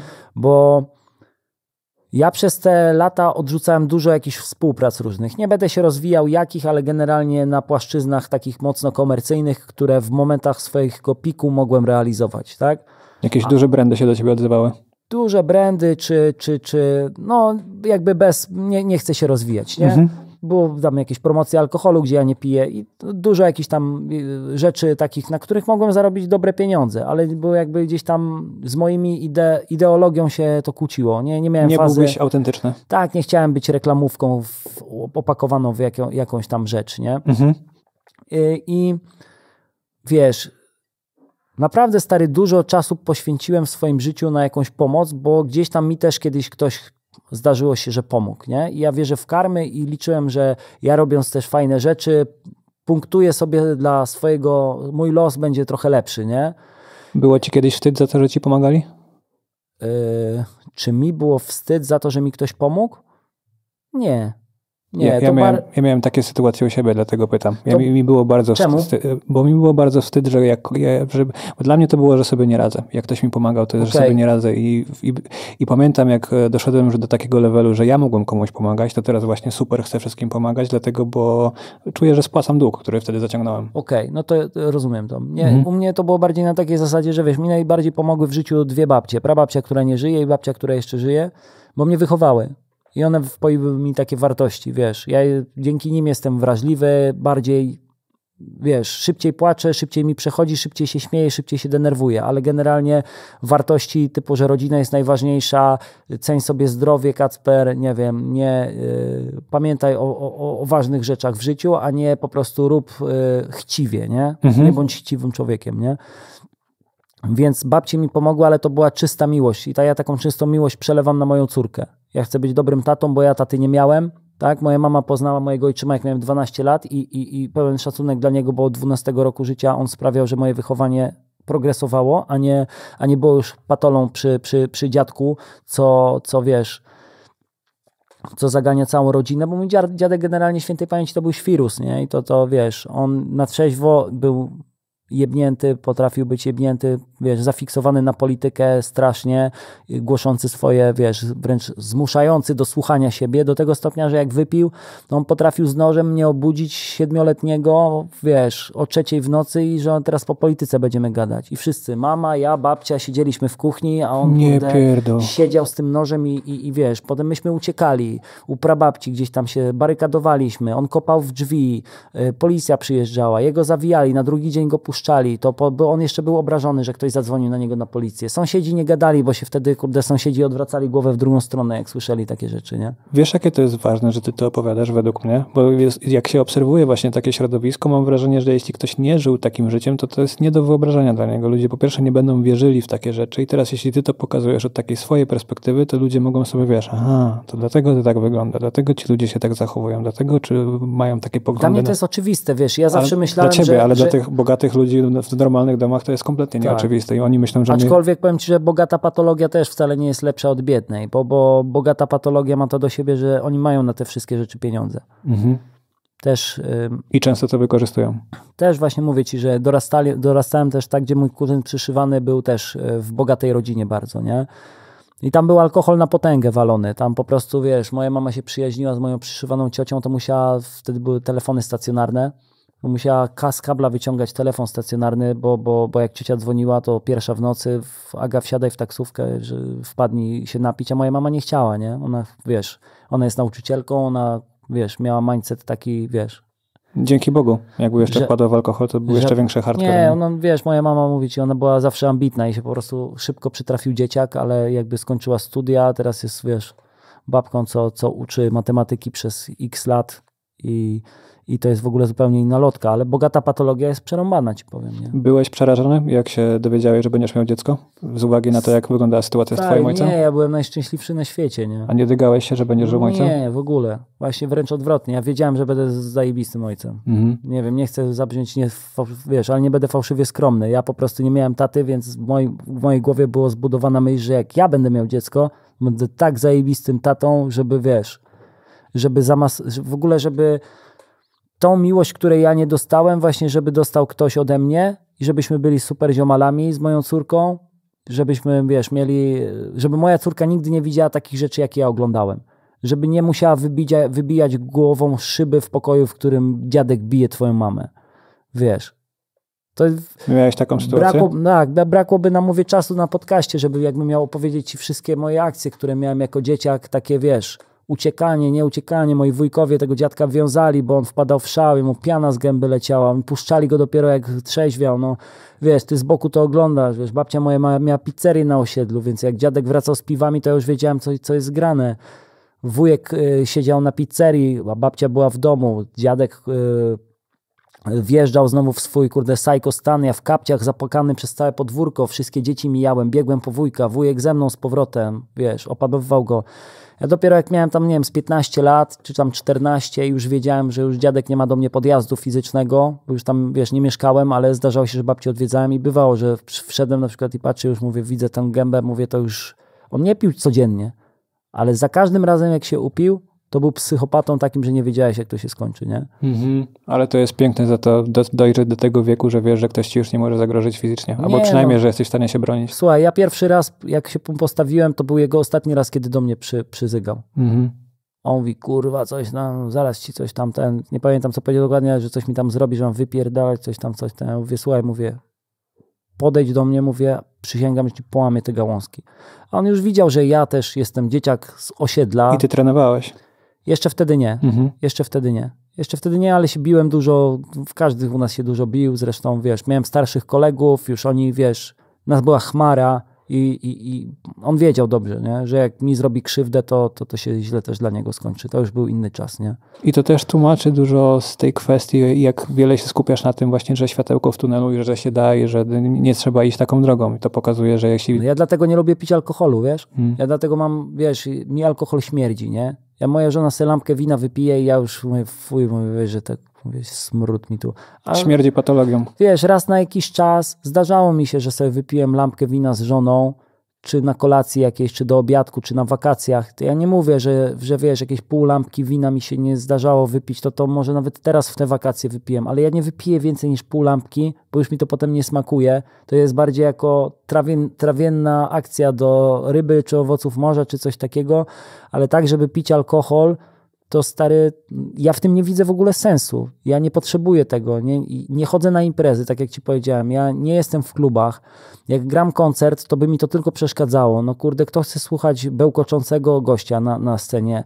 A, a z drugiej strony, co mam pić potem na afterze? Ale ludzie piją na koncertach, nie? Raperzy. Piją, wiesz, jedni piją na koncertach, drudzy po i tak dalej. Mi to w ogóle nie, wiesz... No, ja nawet Kenko o tym rapował, z tego co pamiętam. Że... Ja tak stary Kenkego poznałem, on pewnie nawet nie pamięta, ale graliśmy kiedyś, graliśmy kiedyś koncert Gandzia Mafia, Kenke, ktoś tam jeszcze i on jeszcze był w prosto. Mhm. I on z flaszką wychodził do ludzi i tam, wiesz, bełkotał do nich. Kurwa, ja patrzyłem jeszcze na skali wtedy stałem, mówię, co to kurwa za debil jest, nie? Mhm. Mówi, to jakiś Kenke, kurwa, mówię, jaka dziwna ksywka, nie? I w ogóle, że wiesz, jakby Z Radomia. on był w prosto, wtedy jakieś początki miał i tak dalej, ale no mówię, alkomat z flaszką w ręku, więc wiesz, więc nie patrzyłem na niego w ogóle jak na gościa, który, wiesz, może aspirować na, na Kenkego, którym został, nie? Z którym chętnie też nagrałem kawałek. Mhm.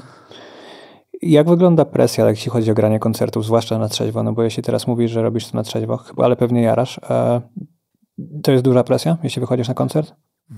Wiesz co, samo, samo granie jest super, nie? Jak już jesteś na scenie, wchodzisz na scenę, to jest O, przynajmniej moim, adrenalina podchodzi. ale to jest piękne, wiesz, ja to kocham, to jest dla mnie, to jest dla mnie dopamina, jak ja mam, wiesz, słabiej przyjęty album, nie gram koncertów, albo mam jakieś zdrowotne problemy, czy cokolwiek się dzieje nie tak, że nie mogę grać, to ja cierpię, bo moja dopamina cierpi, ja nie mogę się łączyć z tymi ludźmi, ja uwielbiam kontakt z fanami, takimi prawdziwymi, nie tymi, co, wiesz, co, co, co cię wy, wyzywają, jak ci się noga podwinie, tylko tak z takimi, co cię, co cię niosą po prostu, nie, to, to dla tych ludzi zacząłeś to robić, nie, Mhm. A przed koncertem jest presja? a przed koncertem, no to jest, kurde, bywa strasznie, nie.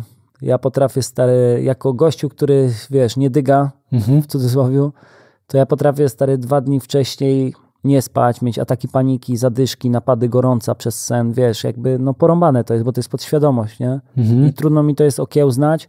Dopiero jak zacząłem rozmawiać z in... Prze- Przez każdym koncertem, czy przed jakimiś dużymi? Przed każdym mam presję, że po prostu czuję się niefajnie, że, że na przykład przychodzi, nie wiem, środa gram w piątek i ja mówię, kurde, co mi tak brzuch boli, nie?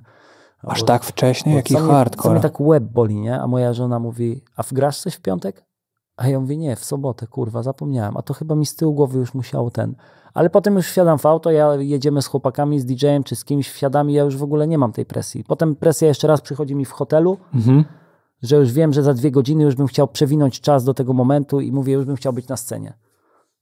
Ale jak już jestem na tej scenie, to mnie trudno wypędzić. To już tam kończy się koncert, a, a ja bym jeszcze grał dalej. Nie? To jest trochę tak jak Mike Tyson opowiadał o walkach. On płakał przed swoimi walkami. Tak, bał się, nie? I jak opowiada o tym, jak idzie sobie do ringu i powoli jego pewność siebie rośnie i później wchodzi do ringu i już Opowiadał, jest... jak gołoty się bał przed walką. Tak? Nie Tak, słyszałem tego. Mówi, zobaczyłem tego gościa, mówi, co to za wielki skurwiel brzydki, nie? Mówi, wszystkich tutaj nokautuje, wiesz. Mhm. Gołota był wtedy w formie sztos, no ale Gołota miał jeszcze słabszą głowę w tych sprawach niż Mike i bał się jeszcze bardziej Majka niż jego. To jest w ogóle abstrakcja, nie? No ale ta presja jest... Czy to wpływa na to, że jesteś mega zmęczony po tych koncertach? Generalnie presja, Możesz, możesz zasnąć po nich normalnie? pre... nie mogę spać. Stary, ja, ci co idą na after, to idą na after, to niech se idą na after. Ja jak mam do 4 godzin z samochodem, to wsiadamy z DJ-em w auto i wracam do domu. Mhm. Bo i tak nie zaśniesz. No i tak nie zasnę. Więc gram koncert powiedzmy 10, 11, To, 12. to, to ty masz normalnie taką presję jak fighter w UFC. Jak rozmawiam z fighterami z UFC, to oni mają dokładnie tak samo. Przed walką hardcore, podczas walki turbo hardcore i później A potem się nie da zasnąć, no. stary. Ja wracam po tych 4 czy 3 godzinach za kółkiem, bo ja nie, nie lubię być pasażerem, więc ja prowadzę zawsze.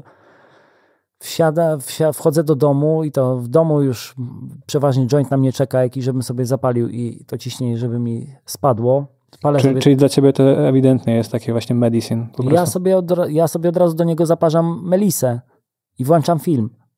I Ja dopiero jak ktoś do mnie pogada, Melisa zacznie działać, zioło ze mnie schodzi, to po godzinie gdzieś, godzina, półtorej, pooglądam Instastory z koncertu albo jakieś rzeczy i dopiero wtedy, wiesz, zasypiam nie wiem kiedy. A często jest tak, że moja córka wstaje o 7 rano wtedy do szkoły z żoną i się zaczyna robić, kurde, hałas, nie?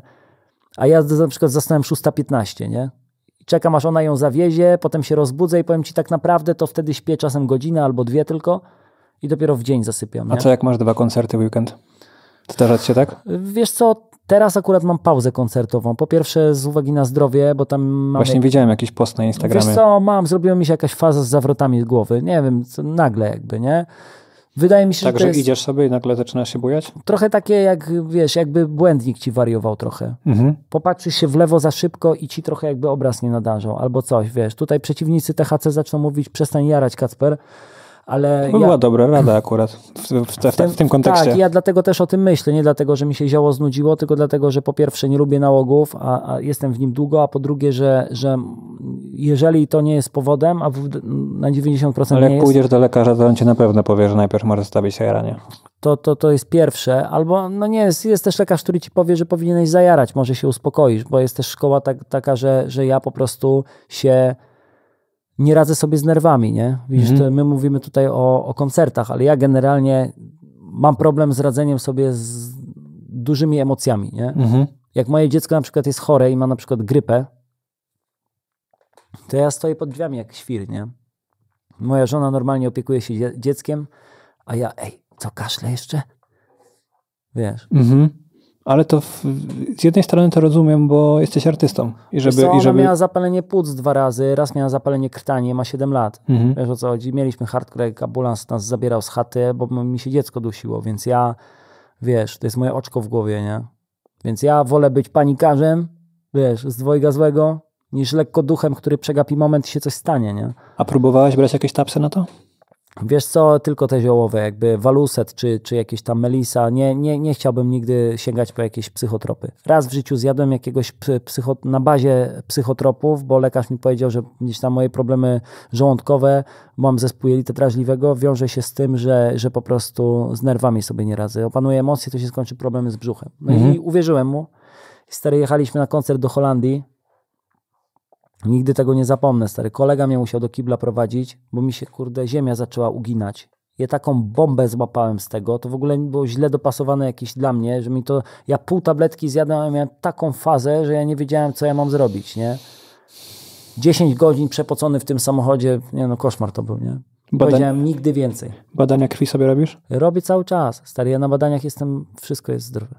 Kurwa. Rezonans głowy robiłem teraz, e, audiologa, badanie błędnika, I nie znaleźli jeszcze przyczyny? Nic nie mam, cholesterol podwyższony tylko na 270.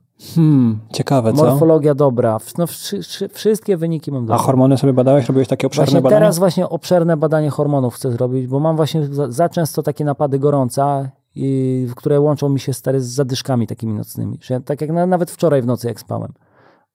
Idę spać, wszystko jest git, budzę się o trzeciej w nocy i stary jest mi tak ciepło. Bo badania krwi, to wiesz, zrobić takie podstawowe badania krwi, jak ci normalnie Tak. lekarz przepisze, to to jest... Nie, no morfologię to ten, ale ja robi, robiłem i robiłem prolaktynę, jakąś robiłem sobie ten cholesterol, tarczycę, jakieś takie rzeczy, wiesz, robiłem, tylko nie szczegółowe hormonalne badania i teraz to jest gdzieś tam mój następny krok, ale też, wiesz, ja tych badań naprawdę robiłem, kurde, dużo. Ja nienawidzę stary mieć igłę wbijanej w żyłę. Ja nie Ja wiem, jak, też. ja nie wiem, jak Ja można mdleję. ćpać. Ja też, ja też zdarzało mi się w ogóle, Ja, jest, ja muszę się kłaść, bo zemdleję. Ostatnio babeczka powiedziała mi, nie, nie, nie, siedź mi, teraz już tak się... nie mam, bo za dużo razy miałem te badania. Ja miałem tak, że miałem okres, że przestałem mdleć i później znowu zacząłem Ja mdleć. stary, jedyny raz, kiedy zemdlałem, to jak kurde właśnie siedziałem w więzieniu i pobierali mi DNA, bo żeby ci pobrać DNA, to oprócz krwi pobierają ci włosy z każdego płata czołowego, żeby sprawdzić, czy byłeś w jakimś miejscu podczas, podczas jakiegoś zdarzenia i mi krew pobierali. A ja od razu mówię, ja nienawidzę tej krwi, nie? Mhm. I igieł. I igieł. I jesteś cały wydzierany. To jest... To, A to... to w ogóle mnie nie robi, nie? Mhm. Też tak masz?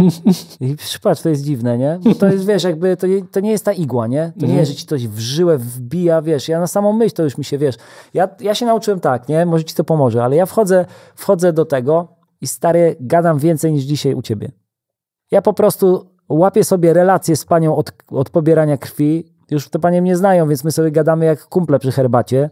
Jak tam zdrówka? A u pani jak? Dobrze, już lepiej z tym, a lepiej z co u męża? I ten, ja przegapiam moment, w którym ona mnie ten, wiadomo, że jak już zacisnąć rękę, y, ten tu, ja, ja mówię, dobra, głowa w drugą stronę i wracamy do gry. I już nie ma, nie ma te, w aucie mam zawsze batonika w razie co Ja, mi się, ja zauważam to, że Bo to jak, jest tu, nie? Tylko. jak ja idę już tam i tylko wejdę do tego pomieszczenia, to mi się piszczele zaczynają pocić. Tak. Tak. Jest pojebane. Bo się tak stresujesz. Patrz, jaka to jest potęga stresu. Stres to jest w ogóle generator wszystkich chorób, nie? tak, tak. Możesz sobie zniszczyć kręgosłup, brzuch, kurde, wszystko. Mhm. Mm, czyli planuje, planujesz wrócić do koncertowania, czy czekasz, aż to ci się rozwiąże? Wiesz co, planuję wrócić do koncertowania. Daję sobie jeszcze jakiś czas na, na, na tworzenie po prostu muzyki, bo, bo skoro nie, je, nie jeżdżę nigdzie co weekend czy co drugi weekend, to spędzam ten czas sobie na, na, na pracy, nie? Mhm. No to jest dziwne, że musiałeś odwołać.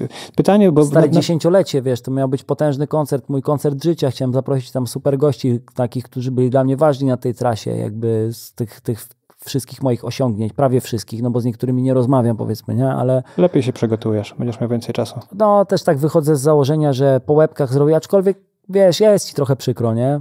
Byłem teraz na dziesięcioleciu z Buka, żywy, żywy band, ludzie jedli z ręki praktycznie, było tak piękne, super, no, super wydarzenie, nie? Mhm. Na Hempgru nie dotarłem, nie dotarłem, bo po prostu no, nie, nie czułem się zdrowotnie spoko, żeby dotrzeć, ale widziałem, że tam też było naprawdę mocno, 6 czy 7 tysięcy ludzi i naprawdę petarda wydarzenie. Masz już plany, gdzie, gdzie będziesz to robił? Wiesz co, w Katowicach prawdopodobnie, albo, albo w P23, prawdopodobnie w P23, bo ja myślę, że tam wejdzie około 1200-1300 osób, to jest optymalne. Nie chcesz w Warszawie? Nie, Masz, masz, masz tam większą grupę fanów? Jestem ze Śląska. Mhm. Po prostu chciałbym, żeby to było, wiesz, w Rybni... ja jestem z Rybnika, nie? Mhm. Więc to Rybnik to jest za małe miasto na duże wydarzenie. Chyba, że w wakacje by się odbywało, na kampusie czy coś, na rynku, to, to wtedy może miałoby ręce i nogi. Ale gdybym to robił jesienią no i w klubie, no to, no to nie ma w Rybniku klubu, który pomieści dużą ilość osób. Wracając do naszej rozmowy, zrobiliśmy sobie małą przerwę. Nie jestem pewien, gdzie to utniemy. Czemu twoja ostatnia płyta nazywa się Ostatni list stanącego pokładu? Wiesz co, bo to jest taki jakby mój synonim depresji. E, wiesz, jakby ten, te problemy emocjonalne u mnie w momencie, kiedy, kiedy urosły do takiej rangi, w której e, złapałem ostrą depresję i przegapiłem ten moment, myślę, że jak większość osób z depresją, bo wydawało mi się, że ogarniam, że wszystko jest git, że to po prostu gorszy humor, czy cokolwiek ten, ale to się jakby, wiesz, toczyło jak nić po prostu, która się szyje za tobą i jest coraz większa, większa, większa i trudno ci się wyplątać. W pewnym momencie to już nie umiałem z niczego w ogóle cieszyć. Mhm. A, a przeraziłem się, jak nie umiałem być smutny już nawet. Jakby, kurde, byłem tylko po prostu żaden, nie? Taki wesoły, bez żadnych emocji. tak, bez żadnych emocji, ani smutny, ani wesoły, ani nikt mnie nie rozumiał, ani nawet z dziecka nie potrafiłem się cieszyć. Jakby, z, wiesz, zawsze jej uśmiech mi poprawiał nastrój, a doszedłem do, do takiej doliny, w której po prostu już nic, nic, nic. Długo trwał proces wchodzenia w ten stan? Właśnie, wiesz co, nie wiem, bo to jest takie ciekawe, że ja nie wiem, kiedy to się stało. Mhm. Wiesz, ja, ja myślę, że ka- każdy człowiek ma lepsze, gorsze chwile, nie? Mhm. Czasem trwa to tydzień, czasem trzy dni, czasem po prostu jeden dzień. I się nie przejmujesz za bardzo. Tak. Nie pierwszy raz się czujesz źle, więc olewasz. A jak się robi z tego tydzień, dwa, trzy, a potem już nie wiesz, jak długo to trwa i sobie Mhm. myślisz, kurwa, cały czas jestem smutny, nie chce mi się, a ktoś mi kiedyś powiedział, najgorszy moment to jest, kiedy dojdziesz do czasu, kiedy nie chce ci się, żeby ci się nie chciało. To dzisiaj już po prostu nic nie chce. Nie ma rzeczy, która by po prostu cię, nie wiem. Jak masz doła, to sobie włączysz czasem film, tak? Masz gorszy humor, nie wiem. Ja się nigdy nie doprowadziłem do takiego stanu. Nie, nie, nie, nie, nie, potrafię, nie, nie, wiem, nie potrafię sobie tego wyobrazić, ale co, co zrobiłeś w takim razie? Wiesz co? Ja nie powiedziałem, że ten stan się skończył, nie? Ale ty dzisiaj nie wyglądasz na osobę, która się nie potrafi z niczego Wiesz cieszyć. co, no Robin Williams też tak miał, nie? Wiesz, czasem za wesołą buzią się smutne, smutna dusza kryje, nie? Mhm. I ja po prostu, wiesz, to, te najgorsze rzeczy wydaje mi się, że mam za sobą, nie? Że nie sprowadzam się już do takiego, wiesz, do takiego momentu, w którym byłem. Bo jak tylko zaczynam czuć, że łapię wiatr w żagle w tej mojej dolinie, że się znowu zaczynają nerwy, że już znowu bym rzucił stolikiem najchętniej, kurde, w, w ten, w ścianę, bo po prostu sobie z czymś nie radzę emocjonalnie, że, że nie wiem, to się na, nakładają się rzeczy, wiesz, w tym samym czasie, wiesz, masz problem ze swoim zdrowiem, twoje dziecko ląduje w szpitalu z zapaleniem płuc, w tym samym czasie wypuszczasz kawałek, od którego- którego miałeś spore oczekiwania, I nie idzie? nie idzie. W tym samym czasie w internecie ktoś łapie twoje, wiesz, clickbaitowe, dlatego ja stary wywiadu nie dawałem żadnego przez... Ostatni raz u Zwinim byłem porozmawiać. Mhm. Właśnie się zastanawiałem nad tym, że jako, jak sobie researchowałem ciebie, nie było dużo rozmów. Nie, bo ja w ogóle, wiesz, jakby w pewnym momencie to ja zacząłem łapać schiza, że się stałem więźniem tych swoich cytatów, nie? Mhm.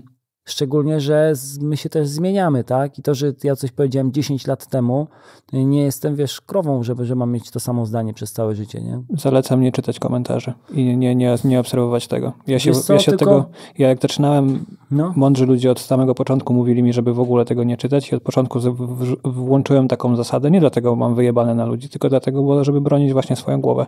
I to rzeczywiście działa, w ogóle nie czytam. Wiesz co, ja po prostu podchodziłem do tego tak, że może konstruktywna krytyka podziałać na mnie budująco, bo jak przeczytam mądrą krytykę, to mogę wynieść coś na zasadzie, wiesz, tak jak ostatnio przeczytałem. Kacper, nagraj, przestań kurwa już te smuty. Bo ja całą płytę taką zrobiłem i kolejne rzeczy, które zacząłem wypuszczać po tej płycie, dwa single, też są smutne, nie? Mhm. I No, możesz... jeśli, jeśli to wyraża ciebie i jesteś w takim stanie, no to czemu, czemu masz nie nagrywać właśnie, takich? wiesz co, dało mi to pogląd na to, że ja nie chcę też taki być, nie? Mhm. Ja nie jestem tylko setboyem, co, co, co, co, co, co płacze, jak mu jest źle, nie? Mhm. Ja stary jestem na co dzień wesołym człowiekiem, nie? Który lubi pożartować, kurde, wiesz, lubię spędzić fajnie czas, a nie, a nie jestem jakimś, wiesz, nie jestem tworem tego, co mnie, y, jakim stworzyły mnie clickbaity, nie? No i dzisiaj myślę, że to pokazujesz. Myślę, że to jak dzisiaj opowiadasz, jakby to, jest kompletnie inny obraz ciebie niż ja, ja jak przygotowywałem się, miałem okazję zobaczyć. No ja się powiem ci szczerze, że bałem się na początku, nie? Jakby powiedziałem sobie, że jeżeli mnie. Za... Ja w ogóle przegapiłem stary wiadomość twoją z zeszłego roku, w której napisałeś do mnie. Wtedy nie miałem jeszcze niebieskiego ptaszka, to się nie zwraca uwagi tak bardzo. Możliwe, wiesz, wiesz mo... mogło to przychodzić równie dobrze w piku jakiejś płyty albo czegoś, gdzie po prostu dostajesz po, po, po setki wiadomości codziennie i wiesz, i właśnie tych wiadomości nie czytam wszystkich, bo po prostu się nie da. Komentarzy też nie czytam wszystkich. Ale ktoś mi napisał kiedyś właśnie w... niedawno, żebym, wiesz, możesz też nagrywać o smutnych rzeczach, ale nadawać temu właśnie więcej nadziei. A ja ostatnio zacząłem tej, na, tą nadzieję sobie zabierać i też emanować to zaczęło w moich piosenkach ze mnie. Ty- To jest zajebiste, że możesz w ten sposób obserwować siebie, że piszesz coś, tworzysz jakiś kawałek, później go słuchasz i mówisz, a już wiem, co mi nie gra, już prawdopodobnie popełniam błąd tutaj i tutaj, bo słyszę to w muzyce, którą stworzyłem. No ja cały czas tak szukam, nie? Mhm. Ja dlatego mówię, ja jestem dla siebie bardzo krytyczny. Wiesz, ja przesłucham swoją płytę i dla mnie ona już jest słaba bardzo, bardzo szybko, nie? Chyba, że pyknie i jest naprawdę wow, to potem zmieniam zdanie, jak wychodzę na koncert. Wychodzę na koncert i gram kawałek i jest taki, kurde, szał, że mogę mikrofon sobie położyć, oni to za mnie polecą. To wtedy mówię, nie no, To musi być tak, lubię wracać do tego kawałka, nie? to musi być takie doświadczenie. Pewnie nie da się tego nigdzie indziej doświadczyć, niż jak grasz Nie. koncert. Jak Powiem ludzie ci szczerze, że jedyne to, co sam zauważyłeś, to wydaje mi się, że bardzo podobnie mają zawodnicy w, w MMA, w sportach walki, nie? Mhm.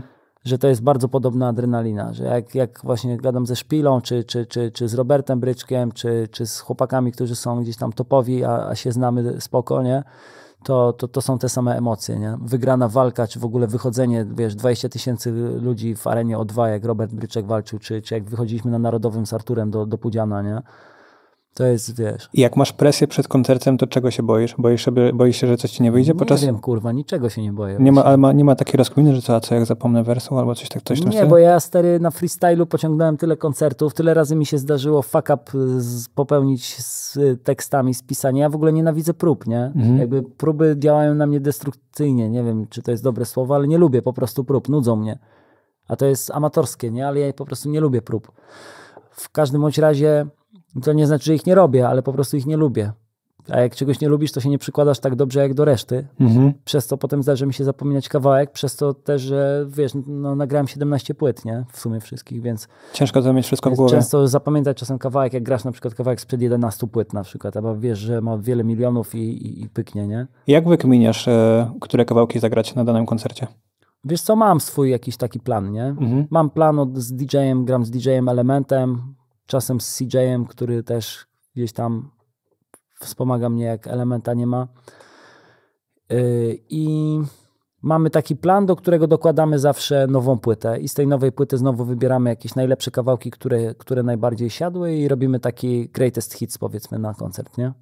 Mm, Wspomniałeś coś o tym, że włączają ci żółtego dolara pod kawałkiem. Tak. Jak to wygląda na YouTube, jeśli chodzi o rap? Bo wy y, macie takie poważne niektóre te kawałki. Nie, wcale mnie nie dziwi, że włączają tam Wiesz żółtego. co, właśnie to jest takie ciężkie do, do, do, do, do wyszpiegowania, nie? Bo czasem jest taki kawałek, o na przykład mam taki kawałek Duch, nie? On ma 15 czy 16 milionów Mhm. i przegapiłem ostatnio, że pojawił się na nim żółty dolar. I dopiero ostatnio. Chyba tak. Wiesz, też ja nie, nie, nie sprawdzamy tych kawałków 17 płyt codziennie. Dobra, sprawdź, sprawdźmy, czy dzisiaj jest żółty dolar, nie? Mhm.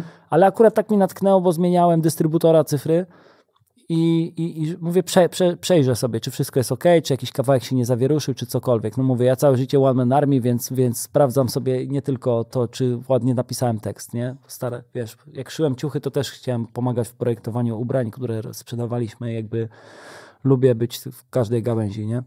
Tak dla ludzi, którzy mogą nie wiedzieć o co chodzi, żółty dolar to znaczy, że YouTube ustawił dany klip na, na YouTubie jako ten, z którego nie można zarabiać pieniędzy albo zarabianie jest ograniczone. Tak, ograniczone, dokładnie. Mm, Dużo się zarabia na rapie z e, YouTube'a?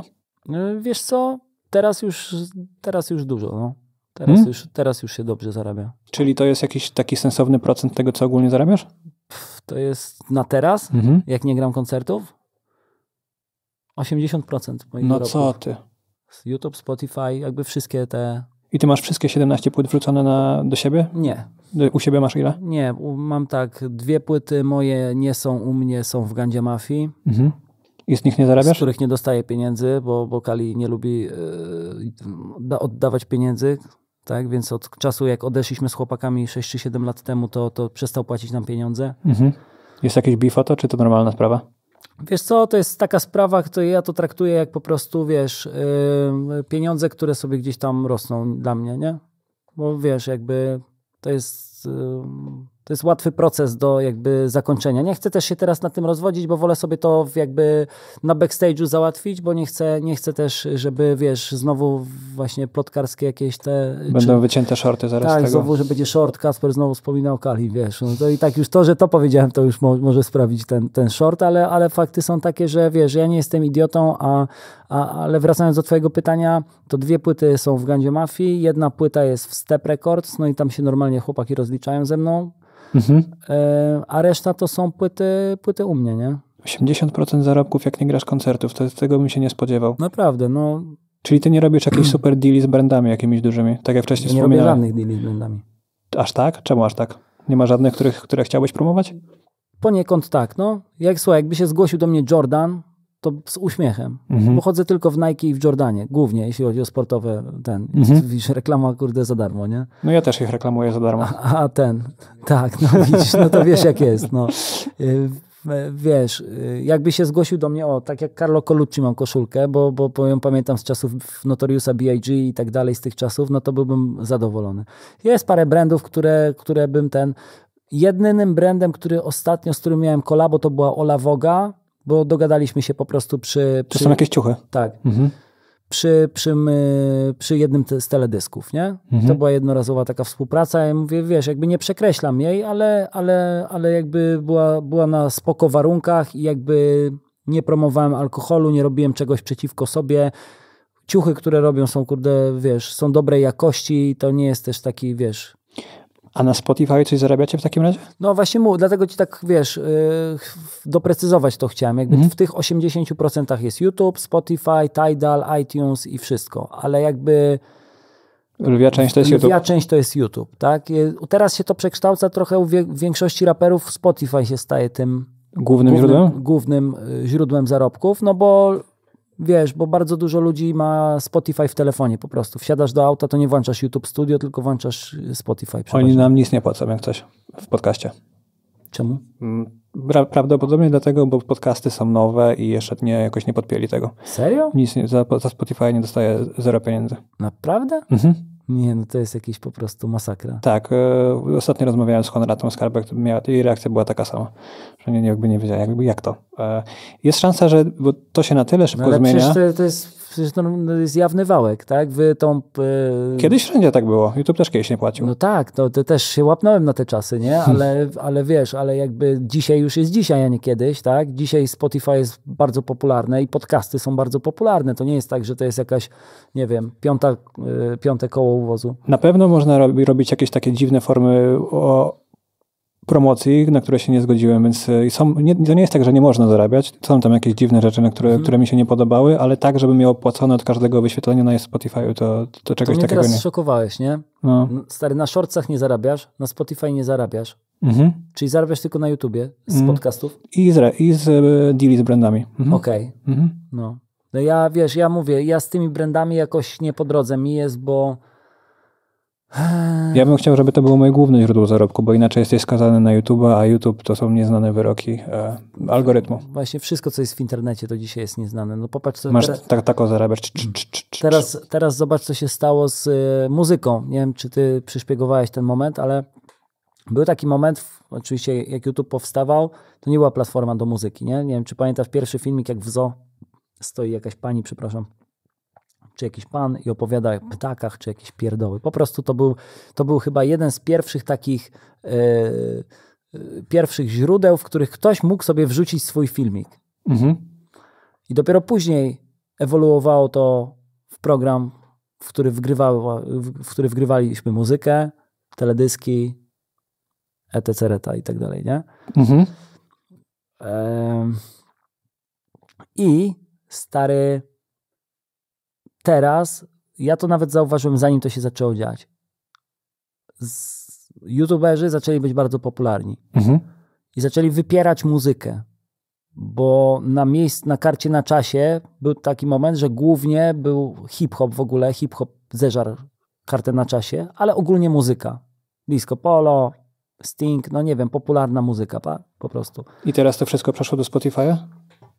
I w momencie, kiedy youtuberzy rozwinęli się, nie wiem, free z challenge'ami, nie wiem, patostreamerzy, freakowe gale, wywiady z freak fighterami, wszystko, co zaczęło być na karcie na czasie, nie wiem, Lexi, Team X i cała, jakby wiesz, ja to, ja to śledzę, bo uważam, że po prostu To jest twój biznes. o tym mówię w kontekście tworzenia muzyki. Jak Mhm. ja robię płytę, to ja nie tylko poświęcam czas na pisanie tekstu. Ja sprawdzam, co, się, co w trawie piszczy, żeby wiedzieć, być świadomym po prostu też artystą, wiedzieć, co jest grane. Nie? Mhm. Więc oni widząc, że muzyka zostaje wypierana, stworzyli na karcie na czasie dodatkowy folder karta na czasie muzyka. Mhm. I masz teraz kartę na czasie zwykłą, kartę na czasie muzyka, kartę na czasie chyba gry komputerowe. I pewnie docelowo tam podcasty też dojdą. masz tych odłamów bardzo dużo, nie? I jednak nie odzwierciedla to tego samego, bo teraz najważniejszą kartą wciąż jest ta główna. Mhm. A na tej głównej, jak sobie wejdziesz, nawet po podcaście możemy sobie z ciekawości sprawdzić, Mogę teraz nawet to wejść. nawet sprawdź, co jest na... na, na, na Ale ja tam nigdy nie wchodzę, więc muszę ją znaleźć najpierw. Your channel, history, e, subscriptions, Tam, gdzie masz ogień. taki. trending. No, chyba trend. Ja mam po angielsku YouTube'a. Okej, i teraz wchodzę, tylko że Buddha TV mi się pokazuje i Verso z Freezem. I to chyba nawet muzyka jest. Tak, 2.27 trwa No, ale muzyka. umówmy się, że piosenka Wersow z Freezem z całym szacunkiem, nie dlatego jest druga na karcie na czasie, Bo to dobra muzyka. bo to świetna muzyka, chociaż nie słyszałem tej piosenki, to też nie chcę kogoś tam, wiesz, e, oceniać, nie? Ale, ale, ale ich e, zasięgi i popularność się wzięła przez to, że są youtuberami, nie? Mhm. Freeze głównie. No, ale Wersow też jako postać jest. Chciałbym cofnąć do tej dobrej muzyce, też nie chcę im cisnąć. Nie, nie słuchałem kawałka i może zrobili zajebisty kawałek, nic, nic nie mówię. Ale pierwszy jest Buddha, tak? Mhm. Czyli ziom, który opowiada o samochodach, o tuningu, o wszystko co z tym. No, to jest super content, akurat ja, ja, ja sobie sprawdzam czasem, bo chociaż nie jestem jakimś maniakiem mo- motoryzacyjnym, to uważam, że robi po prostu zajebiste rzeczy i też tam słyszałem, że historię ma taką też, że, że się też nie wywodzi z bogatego domu, tak? Powiedzmy w, w skrócie. No ale karta na czasie właśnie tak do, do brzegu sprawiła, że yy, no bo żeby piosenka hip-hopowa czy jakakolwiek miała wiele wyświetleń, to ona musi się wyświetlać na YouTubie nawet dla osób, które nie są zalogowane. Mhm. Musisz być na głównej stronie po prostu. I w momencie, kiedy twoja muzyka, powiedzmy, była na 30 kawałków na karcie na czasie, w 30 pozycji, 3 to była muzyka, a 7 to challenge, youtuberzy albo jakieś pierdoły inne, no to więcej kawałków wchodziło w viral i nakręcało wyświetlenia. A w momencie, w którym zostali, zaczęli spadać na niższe miejsca, to przestali się wyświetlać na głównej stronie. I teraz, żeby dojść do grubych wyświetleń, musisz wyprzedzić youtuberów, musisz wyprzedzić challenge, musisz wyprzedzić coś, co, co dla ludzi jest na ten moment zabaw, nie wiem, zabawniejsze, tak jak na przykład masz Bungie, Bandurę i Ginolda, tak? Robią, robią też te takie ala Jackasa polskiego. Mhm. Czyli teraz rynek jest dużo trudniejszy nie tylko ze względu na to, że jest miliard nowych raperów, tylko jeszcze youtuberzy zaczynają. Ale daje też większe możliwości, tak? Bo w tych czasach, w których ja byłem jako nastolatek jeszcze i, i zarabiałem po 3000 zł, to dlatego, że po prostu na YouTubie nie zarabiałem dużo. Też wiesz, nie miałem wiele płyt i tak dalej, ale generalnie YouTube nie, YouTube nie płacił wtedy dużych pieniędzy za to. Teraz płaci lepsze pieniądze i teraz jakby nie wydając płyt, żyjemy w dobie cyfry już wypuszczając muzykę tylko do sieci jesteś w stanie zarobić kasę. Nawet jak wypuścisz jeden hit. Ja, ja powiem ci szczerze, że ja jestem, wiem to z autopsji, że jak wypuścisz jedną hitową płytę albo jeden super ekstra hit, to może ci to ustawić w szeroko pojętym myśleniu na dłuższy okres czasu, na parę lat. Z jednego hitu? Z jednego hitu. Ile on musi zrobić milionów? Kurde, teraz wiesz co, nie, nie pamiętam ile za diamentowy, za diamentowy singiel zarabia, ale to są naprawdę, to są duże pieniądze, nie? Nice, nie wiedziałem. Mm, my wydaliśmy stary 3 lata temu płytę Mantra, nie? Mhm. I powiem ci tak, wiesz, bez konkretnej kwoty, że ona po trzech latach, przez to, że jest hitową płytą, dalej zarabia parę dziesiąt tysięcy złotych miesięcznie. Z samego YouTube'a?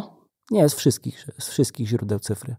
Nieźle. Ale po trzech latach, stary. Po trzech latach, czyli było dużo więcej tego. Czyli wiesz. I jeśli ty masz tyle płyt i to jest skumulowane, to musisz zarabiać naprawdę fajne to, siano z tego. Wiesz, na, ja, ja to traktuję jako taki, wiesz, torcik, z którego bierzesz każdy kawałeczek, nie? Mhm. Ta, ta, płyta, dobra, sprzedała się powiedzmy w takim nakładzie, ale dalej zarabia, powiedzmy, zarabia, nie wiem, 3000 czy tam, a ta zarabia 700 zł. I dokładasz, a ta zarabia dokłada... 20 koła, a ta mhm. zarabia coś tam, na końcu robi ci się spoko kwota, nie?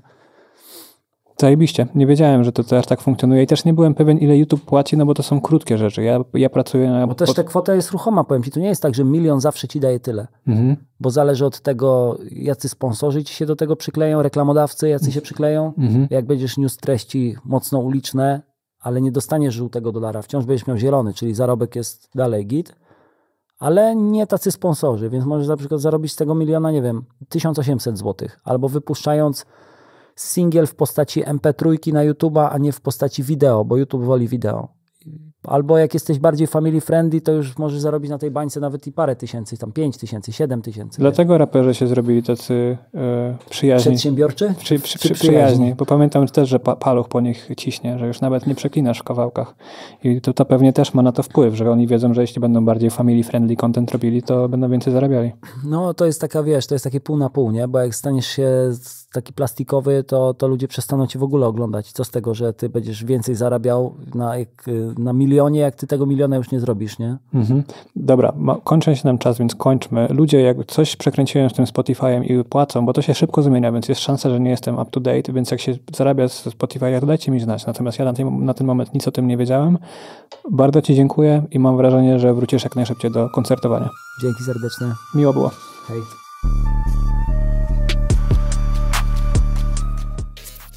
Siemanko, od teraz specjalnie dla Was będę nieprzygotowany nie dwa, a trzy razy w tygodniu. Nowe podcasty we wtorki, czwartki, niedzielę o 19. Pozdro!